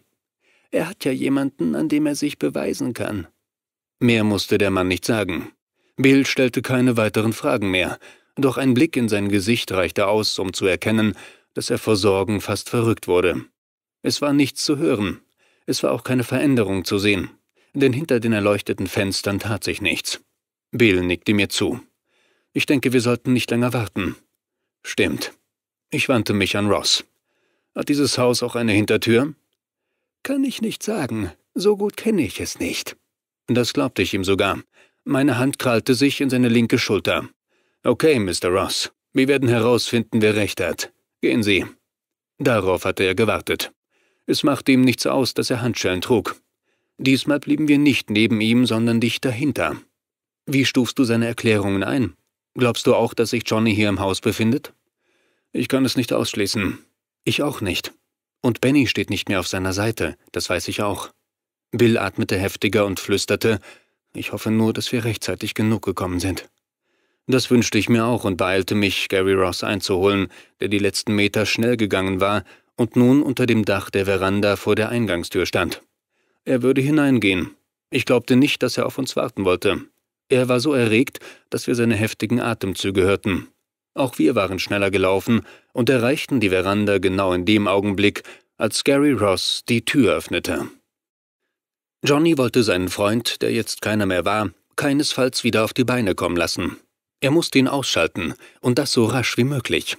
Benny fluchte und drehte sich um. Er wollte Schwung haben, um aufzustehen. Dagegen hatte Johnny etwas. Er sah Benny nicht weit von sich entfernt, kniete noch, dann gab er sich Schwung und stieß sich zugleich ab. Benny hatte ihn nicht gesehen. Und so krachte Johnny Connolly auf dessen Rücken. Sein Gegner brach zusammen. Er stieß einen weinerlichen Laut aus, bevor er auf dem Bauch liegen blieb. Johnny hoffte darauf, dass Benny angeschlagen war und er so leichtes Spiel hatte. Beide keuchten, als Johnny zupackte und Benny in die Höhe zog. Er wollte ihn auf den Rücken wälzen, aber es kam nicht dazu, denn sein Gegner wehrte sich. Es war ein schneller und überraschender Angriff. Benny fing an zu bocken, und so hatte Johnny Probleme, ihn zu halten. Er erhielt einen Schlag gegen die Stirn, der ihn für einen Moment aus dem Konzept brachte. Benny witterte Morgenluft. Er riss sich endgültig hoch, sprang auf und lief keuchend ein paar Schritte nach vorn, um sich dann umzudrehen. Sein Gesicht war zu einer Grimasse verzogen. Du machst mich nicht fertig, du nicht. Johnny gab keine Antwort. Er wollte seine Kräfte sparen. Beide umkreisten sich. Jeder wartete auf den Fehler des anderen. Eine Waffe zog Benny Ross nicht, und Johnny wollte wissen, wie er hätte sterben sollen. Durch meine Hände. Ich hätte dich erwürgt. Dann versuch es doch. Keine Sorge, gleich bist du dran. Keiner gab sich eine Blöße. Es blieb vorerst beim Lauern. Ab und zu startete Benny zu einem Angriff. Es war nicht mehr als eine Finte, denn er zog sich jedes Mal kichernd zurück. Solange er keine Hilfe bekam, würde Johnny das Spiel mitmachen. Aber ewig sollte es auch nicht dauern. Und so griff er urplötzlich an. Er hatte es vorher nicht angedeutet, und sein Gegner rechnete auch mit einer Finte. Diesmal war es keine. Johnny sah noch den erschreckten Ausdruck in Bennys Augen, als er bei ihm war. Beide prallten zusammen. Benny fing den Stoß nicht mehr auf. Die Wucht katapultierte ihn zurück. Er taumelte, blieb jedoch auf den Beinen und wurde erst von der Wand aufgehalten. Scheiße, keuchte er und sah Johnny vor sich auftauchen. Er riss noch ein Bein hoch, doch zum Tritt kam er nicht mehr, denn Johnnys Rechte war schneller. Sie krachte in das Gesicht seines ehemaligen Kumpels, dessen Nase zusammengedrückt wurde. Blut spritzte hervor. Auch Johnny bekam ein paar Tropfen ab, was ihn nicht weiter störte. Benny jaulte vor Schmerzen, senkte den Kopf und griff an. Nach zwei Schritten hatte er Johnny erreicht, dessen zweiter Schlag war zu spät ausgeführt worden, die Hand huschte über seinen Kopf hinweg und ins Leere. Johnny bekam den Kopf des anderen zu spüren, er rammte gegen seine Brust, und diesmal war er es, der zurück musste. Benny verfolgte ihn. Er war wie von Sinnen. Seinen Kopf hatte er wieder angehoben. Die untere Hälfte seines Gesichts war blutverschmiert. Er musste unter Schmerzen leiden, doch er dachte nicht daran aufzugeben. Er wollte werden wie sein Vater und musste zunächst diese Prüfung hinter sich bringen. Ich bring dich um, versprach er gurgelnd. Ich werde dich erwürgen. Er rannte geduckt auf Johnny zu. Dabei schwang er seine Arme wie Dreschflegel. Johnny sah, dass der Angreifer einen Fehler begangen hatte, denn von seinem Körper lag einfach zu viel frei. Das war die ideale Angriffsfläche. Benny wusste nicht, dass Johnny bei Suko in die Schule gegangen war. Als der Kerl auf ihn zurannte, schrie Johnny auf, sprang in die Höhe und zugleich nach vorn. Plötzlich lag er in der Luft und sein vorgestrecktes rechtes Bein ebenfalls. Damit hatte der Angreifer nicht gerechnet. Es war zu spät für ihn auszuweichen, und so erwischte ihn der harte Tritt über den Augen an der Stirn. Es war der berühmte Hammertreffer. Ein Schlag, der den Boxer zu Boden schleuderte und den endgültigen Knockout bedeutete. So ähnlich war es auch hier. Bennys Angriff wurde gestoppt. Er blieb für einen Moment stehen, dann kippte er nach hinten, knickte in den Knien ein und schlug hart auf. Wie ein großer Käfer blieb er liegen, Arme und Beine seitlich ausgestreckt. Johnny war klar, dass er sich als vorläufiger Sieger fühlen konnte. Zunächst musste er wieder zu sich selbst finden, denn der Feind hatte ihn mitgenommen. Er holte Tiefluft, bewegte seine Schultern und wischte einige Male über sein Gesicht. Erst danach schaute er sich um. Niemand hatte den Raum betreten. Nach wie vor waren er und Benny allein. Dabei hatte er so sehr auf eine Hilfe gesetzt, die allerdings nicht eingetreten war. Das gab Johnny Hoffnung. Vielleicht hatte sich Benny Ross ja geirrt. Er näherte sich seinem ehemaligen Kumpel, der angeschlagen und mit blutigem Gesicht auf dem Boden lag, den Kopf manchmal bewegte und ein tiefes Stöhnen von sich gab. Neben ihm blieb Johnny stehen und schaute auf ihn nieder. Er sagte noch nichts, denn er sah, dass Benny mit sich zu kämpfen hatte. Seine Augen waren von den Blutspritzern verschont geblieben, so war er fähig, in die Höhe zu schauen und lag jetzt in einer Position, die auch Johnny vor kurzem eingenommen hatte. Kannst du reden? Benny gab einen Laut von sich, der sich so ähnlich wie ein Lachen anhörte, nur viel gurgelnder.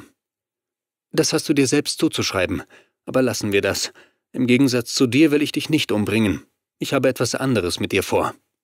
Benny antwortete nicht, und so sprach Johnny weiter. Ich sehe, dass deine Beine noch funktionieren, und deshalb wirst du jetzt aufstehen und zusammen mit mir dieses gastliche Haus verlassen. Ist das klar? Ob es klar war, das bekam Johnny nicht bestätigt, denn er erhielt keine Antwort. Er hörte nur ein leises Fluchen oder Flüstern und sah, dass Benny seinen Kopf zur Seite drehte. Davon ließ sich Johnny nicht beirren. Er wollte seinen Plan durchziehen und auch Benny in Sicherheit bringen. Er sollte wieder normal werden, was in diesem Haus unmöglich war. Komm hoch. Benny lachte nur. Johnny wollte sich von seinem Vorhaben nicht abbringen lassen. Er glaubte Benny auch, dass er es aus eigener Kraft nicht schaffte, und so war er gezwungen, ihm zu helfen.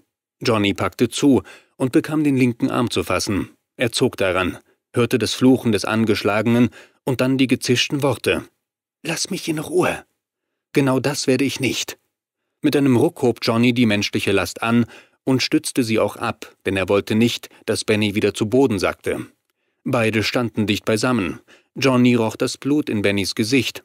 Er sah die Augen, die ihren bösen Blick nicht verloren hatten. Die andere Macht steckte noch tief im Inneren des Angeschlagenen. Er schwankte. Der mit Blut beschmierte Mund hatte sich zu einem Grinsen verzogen. Was willst du? fragte er. Kann ich dir sagen, wir werden nicht länger in diesem ungastlichen Haus bleiben. So etwas tut keinem von uns gut, auch dir nicht, hast du verstanden? Benny lachte. Ja, er lachte. Nur amüsierte er sich nicht. Er lachte Johnny einfach nur aus. Dann fing er sich wieder und keuchte, Nein, Johnny Connolly, nein. Ich werde dieses Haus nicht verlassen, und du wirst es auch nicht. Willst du mich daran hindern? Nicht ich. Es sind meine Freunde, die hier leben. Die wahren Besitzer, die Verfluchten, denn sie bestimmen, wer das Haus verlassen kann oder nicht. Johnny schüttelte den Kopf. Du kannst es drehen und wenden, wie du willst. Diesmal sitze ich am längeren Hebel. Benny glaubte es nicht. Trotz seines Zustandes fing er an zu lachen. Es klang alles andere als fröhlich. Johnny überhörte den bösartigen Klang nicht. Er fasste zu und drehte Benny nach links. So konnten sie zusammen auf die Tür zugehen. Auch wenn sich der Angeschlagene sträubte und Johnny seine Mühe haben würde, es gab für ihn keinen anderen Ausweg. Raus aus dem Haus und sich erstmal umschauen, wo dieser Bau überhaupt stand, das hatte Johnny bisher nämlich noch nicht herausfinden können. Er musste Benny zur Tür schleppen. Ruhig war er nicht, er brabbelte vor sich hin, lachte manchmal und stemmte sich auch gegen Johnnys Zug. Sie blieben stehen. Verdammt nochmal, es hat doch keinen Sinn. Ich kriege dich sowieso weg. Nein, Johnny achtete nicht auf die Antwort. Er zerrte Benny erneut ein Stück weiter und hielt plötzlich in seiner Aktion inne, denn es war etwas passiert, mit dem er zwar rechnen musste, es allerdings verdrängt hatte. Über seinen Nacken war etwas Kaltes gestreift. Auch Benny hatte es bemerkt, denn er war auch getroffen worden. Sie sind da. Sie sind endlich gekommen.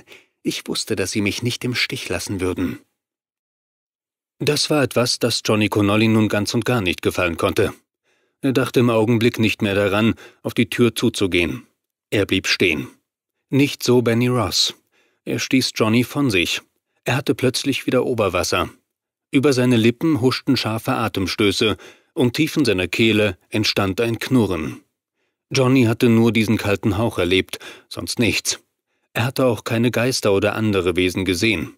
Und solange dies der Fall war, wollte er weiter versuchen, das Haus zu verlassen. Der Weg zur Tür war nicht mehr weit, und er ging jetzt nicht mehr so sanft mit seinem ehemaligen Kumpel um. Weg jetzt! Nein! rief Benny kreischend. Johnny war es leid. Er griff zu einer Radikaltour, stieß Benny die flache Hand gegen den Rücken, womit der nicht gerechnet hatte. Er stolperte auf die Tür zu, erreichte sie allerdings nicht, weil er vor Schwäche einknickte und erneut auf dem Boden landete. Diesmal allerdings blieb er knien und lachte. Er vertraute voll und ganz auf seine Helfer, deren Auftauchen für Johnny lebensgefährlich wurde. Zur Not wollte er auch ohne Benny verschwinden. Der sprach ihn vom Boden her an. Ich werde dich noch umbringen. Verlass dich drauf. Ich werde dich kriegen. Für Johnny stand in diesen Momenten fest, dass er seinen Plan ändern musste. Er wollte so schnell wie möglich aus dem Zimmer verschwinden und lief deshalb allein auf die Tür zu. Er kam nicht weit. Schon nach einem Schritt spürte er eine Veränderung. Anfangs hatte diese ungewöhnliche Kälte nur seinen Nacken gestreift, jetzt war sie überall zu spüren. Johnny stoppte. Er drehte sich dann um. Ja, sie waren da. Er hatte sich nicht geirrt. Sie waren heimlich gekommen und völlig lautlos. Er hatte im Garten ihre Fratzen gesehen. Die sah er jetzt auch, aber er sah noch mehr. Und das waren die feinstofflichen Körper, die vor ihm eine gespenstische Wand bildeten. Vor dem Betreten des Hauses hatte ich Gary Ross eingeschärft, sich ruhig zu verhalten. Sollte er irgendetwas versuchen, was mir nicht passte, würde es ihm schlechter gehen. Wir werden sehen, wir erreichten die Tür. Nein. Mein gezischter Befehl erreichte Gary Ross. Er verstand und trat etwas von der Tür zurück. Als wir bei ihm waren, grinste er. Ross fühlte sich in seiner Lage sehr wohl. Als Verlierer sah er sich noch immer nicht an. Er hoffte auf die Hilfe der Verfluchten. Bill blieb in seiner Nähe, während ich mir die Tür vornahm. Ich glaubte nicht daran, dass sie geschlossen war. Es war still. Auch von Benny und Johnny hörte ich kein Wort. Sekunden später war die Tür offen. Ich entspannte mich ein wenig, denn es gab keine Gefahr, die uns angegriffen hätte. Mein Blick fiel in ein leeres und auch dunkles Haus, denn das Licht brannte nur in den Zimmern und nicht in dieser dielenartigen Umgebung, die im Dunkeln lag, so dass wir uns gezwungen sahen, Licht zu machen. Ich war der Einzige, der eine Lampe bei sich trug. Sie war zwar klein, aber sehr lichtintensiv, und ich ließ den Strahl wandern, der den Beginn einer Treppe erfasste, über dunkle Fensterscheiben huschte und mich daran erinnerte, dass wir auch hier im Erdgeschoss ein erleuchtetes Fenster gesehen hatten. Allerdings befand es sich nicht dort, wo wir uns aufhielten. Das wusste auch Bill und flüsterte, ich glaube, wir müssen in den Flur, John. Denke ich auch. Oder? zischte Bill Gary Ross an. Keine Ahnung. Aber Sie haben sich hier versteckt gehalten. Ich habe alles vergessen. Fuck, flüsterte der Reporter wütend. Ich mischte mich nicht ein und machte mich auf den Weg. Der helle Lichtstrahl fuhr in den dunklen Flur hinein. Das war unser Weg. Das Kreuz hing jetzt vor meiner Brust. Ich wollte jedes Risiko ausschalten, denn ich hatte nicht vergessen, dass es um Johnny Connolly ging. Er sollte auf keinen Fall von den Geistern der Verfluchten übernommen werden. Es gab eine Tür. Sie führte in den hinteren Teil des nicht sehr kleinen Hauses. Unter der Türritze sah ich einen Lichtschein. Nur noch wenige Schritte mussten wir zurücklegen, bis wir die Tür erreichten. Davor hielten wir an, waren still und lauschten. Hinter der Tür war es nicht ruhig, wir hörten Stimmen, und ich bekam mit, wie mein Freund Bill scharf ausatmete. Wenig später hörten wir seine Flüsterstimme. Das war Johnny. Ich wusste, wie es ihn drängte, zu seinem Sohn zu kommen, aber wir durften jetzt nichts überstürzen, und ich hob die Hand. Langsam, Bill. Ich weiß. Er hatte rau gesprochen und ich wusste, wie es in seinem Inneren aussah. Wenn ihm was passiert ist, dann. Er sprach nicht mehr weiter. Und als ich den Kopf drehte, da fiel mein Blick in sein verzerrtes Gesicht. Es war auch der Augenblick, an dem sich bei meinem Kreuz etwas tat. In der Nähe lauerten Feinde, und darauf reagierte es durch seine Strahlen. Bill saß ebenfalls. Er hielt es nicht länger aus, griff an mir vorbei und stieß die Tür nach innen. Johnny Connolly hielt den Atem an. Zugleich schockte ihn dieses Bild. Er hatte die Gestalten zwar nicht aus seiner Erinnerung verbannt, den Gedanken an sie jedoch zur Seite geschoben. Deshalb traf ihn der Anblick jetzt mit umso größerer Wucht. Was oder wer waren sie? Johnny schaute sie an. Sie blickten zurück. Oder es kam ihm nur so vor, denn sie hatten keine menschlichen Augen. Sie malten sich schwach vor dem Hintergrund ab, was jedoch nicht ihre Körper anging. Ihre Köpfe waren deutlicher zu sehen. Gesichter? Nein, keine echten. Johnny dachte mehr an Andeutungen, an welche, die noch nicht fertig waren und darauf warteten, normal zu werden. Fratzen klotzten ihn an. Er wusste auch nicht, ob es die Gesichter von Männern oder Frauen waren.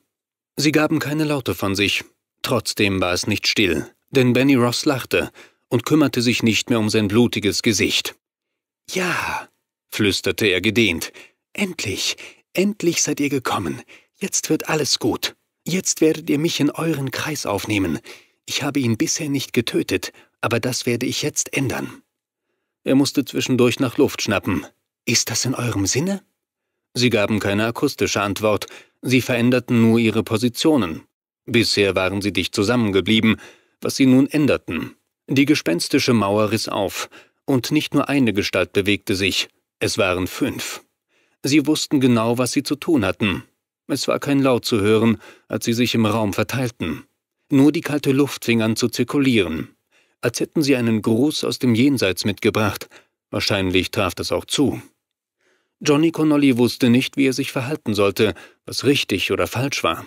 Er dachte natürlich an Flucht, weil die Übermacht zu stark war. Doch er glaubte selbst nicht daran, dass man ihn entkommen lassen würde. Einer dieser Verfluchten war ihm schon recht nahe gekommen. Johnny hatte nichts in den Händen, womit er die Verfluchten hätte angreifen können. Und sich so zu wehren wie gegen Benny, das war nicht möglich. Einer der Verfluchten schwebte näher, die Kälte nahm zu. Das Gesicht war jetzt dicht vor ihm. Es bewegte sich, es strahlte eine Kälte aus, die schwer zu beschreiben war. Johnny empfand sie als trocken, als leichenhaft. Er wollte zurück. Es ging nicht, die Gestalt war schon zu nahe.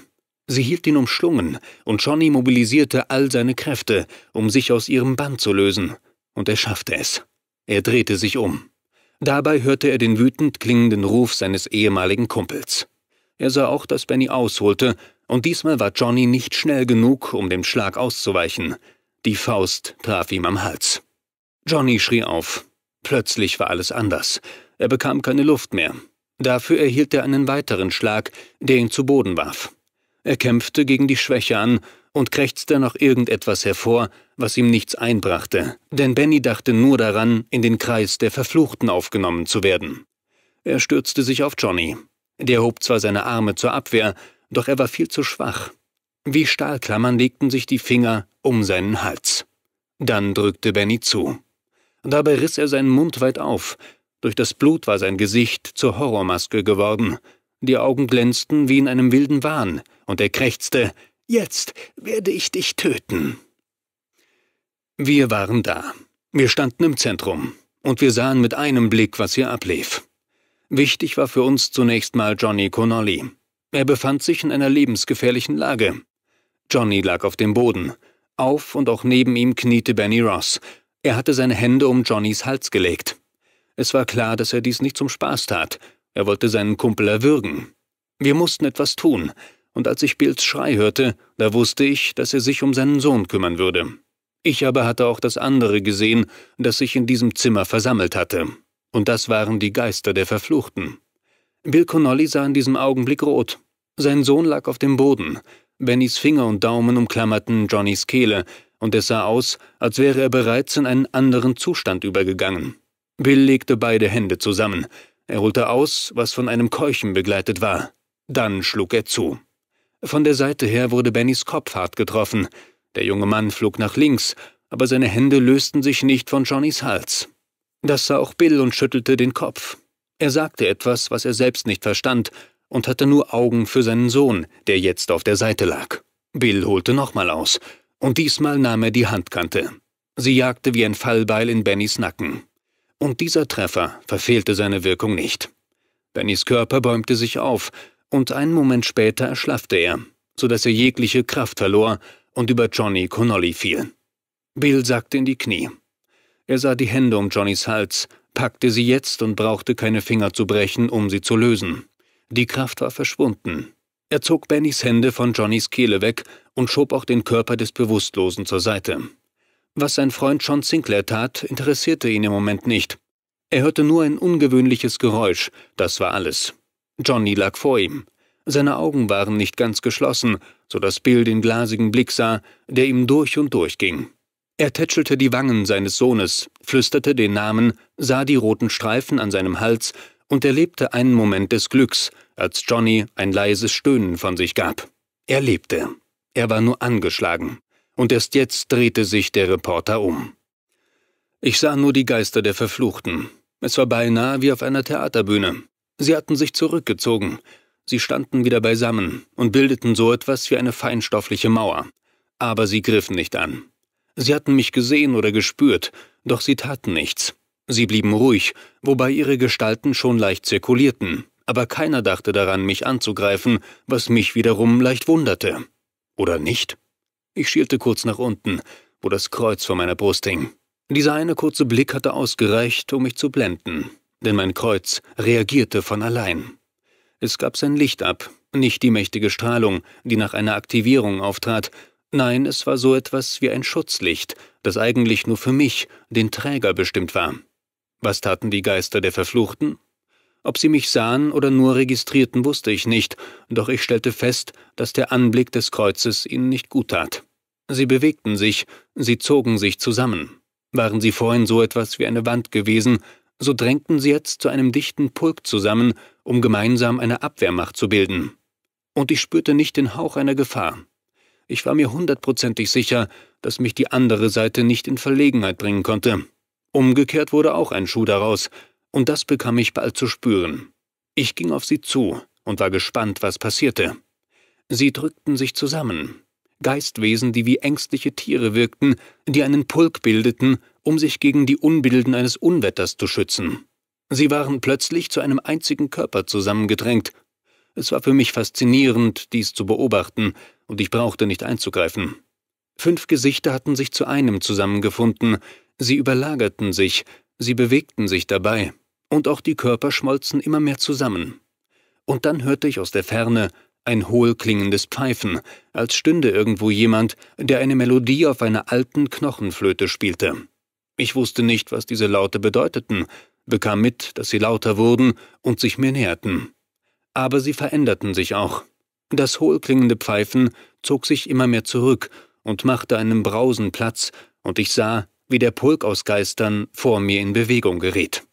Es war faszinierend, diesem Phänomen zuzuschauen, denn der Pulk geriet in eine wilde und rasante Drehbewegung, und er zirkulierte immer schneller um seine Achse. Für mich sah es aus, als wollte er für ein bestimmtes Ereignis Anlauf nehmen. Und das geschah. Der sich drehende Pulk aus feinstofflichen Gestalten hatte so viel Geschwindigkeit aufgenommen, dass er nicht mehr auf dem Boden blieb und davon abhob. Er wurde eine helle Spirale, die der nicht besonders hohen Decke entgegenraste und dagegen stieß. Aber es gab keinen Aufprall, denn dieser Pulk ließ sich von nichts aufhalten, auch nicht von einem Dach. Er jagte hindurch, ohne dass es zusammenbrach, und ich hetzte auf eines der Fenster zu. Ich hatte Glück, mir das Richtige ausgesucht zu haben, denn etwas vom Haus entfernt sah ich so etwas wie eine helle Windhose, die in den dunklen Nachthimmel stieg und wenig später nicht mehr zu sehen war. Es war erledigt, vorbei. Es gab diese Geister nicht mehr in einer Zone, in der sie nichts zu suchen hatten.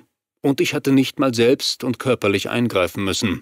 Das passierte auch nicht alle Tage. Ein irrer Schrei riss mich aus meinen Gedanken. Gary Ross hatte es nicht mehr an seinem Platz ausgehalten. Er rannte auf die Stelle zu, wo der Pulk noch vor kurzem gestanden hatte. Dort fiel er auf die Knie, streckte seine gefesselten Hände in die Höhe und jaulte wie ein altes Klageweib seiner verschwundenen Chance nach. Johnny ging es wieder einigermaßen. Er lehnte sich gegen seinen Vater, massierte seinen Hals, keuchte und hustete hin und wieder oder schüttelte den Kopf. Alles klar? fragte der Reporter. Ja, ich deutete über meine Schulter. Sie sind plötzlich verschwunden. Ich musste nichts tun. Es war die Angst vor meinem Kreuz. Und wo stecken Sie jetzt? Irgendwo, denke ich mir.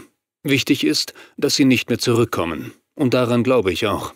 Ich sah Benny Ross auf dem Boden liegen. Was ist mit ihm? Bill lächelte. Er lebt, er ist nur angeschlagen. Freunde werden er und Johnny wohl nicht mehr werden. Aber er ist nicht zu einem Mörder geworden, und ich denke, dass wir dies durchaus als Sieg feiern können. Wie die Richter bei seinem Vater entscheiden werden, weiß ich nicht. Alles deutet auf einen Mord hin. Aber ob nicht doch eine andere Macht dahinter steckt, wage ich nicht zu beurteilen. Genau, Bill, überlassen wir das Problem anderen Personen. Plötzlich grinste er mich an, und zwar so, als wäre ihm etwas eingefallen. Hey, was ist los? Mir ist gerade eine Idee gekommen. Wie wäre es, wenn wir unsere Gartenfete in zwei Tagen wiederholen und daraus eine kleine Siegesfeier machen? Dagegen habe ich überhaupt nichts. Super. Plötzlich meldete sich Johnny. Seine Stimme klang noch immer schwach, doch wir verstanden ihn trotzdem gut. Und irgendwann, ihr beiden, brauche ich auch mal eine Waffe. Ja, da hatte er recht. Aber ich sagte nichts dazu, denn das sollte er zunächst mit seinen Eltern besprechen und auch dafür sorgen, dass seine Mutter zustimmte.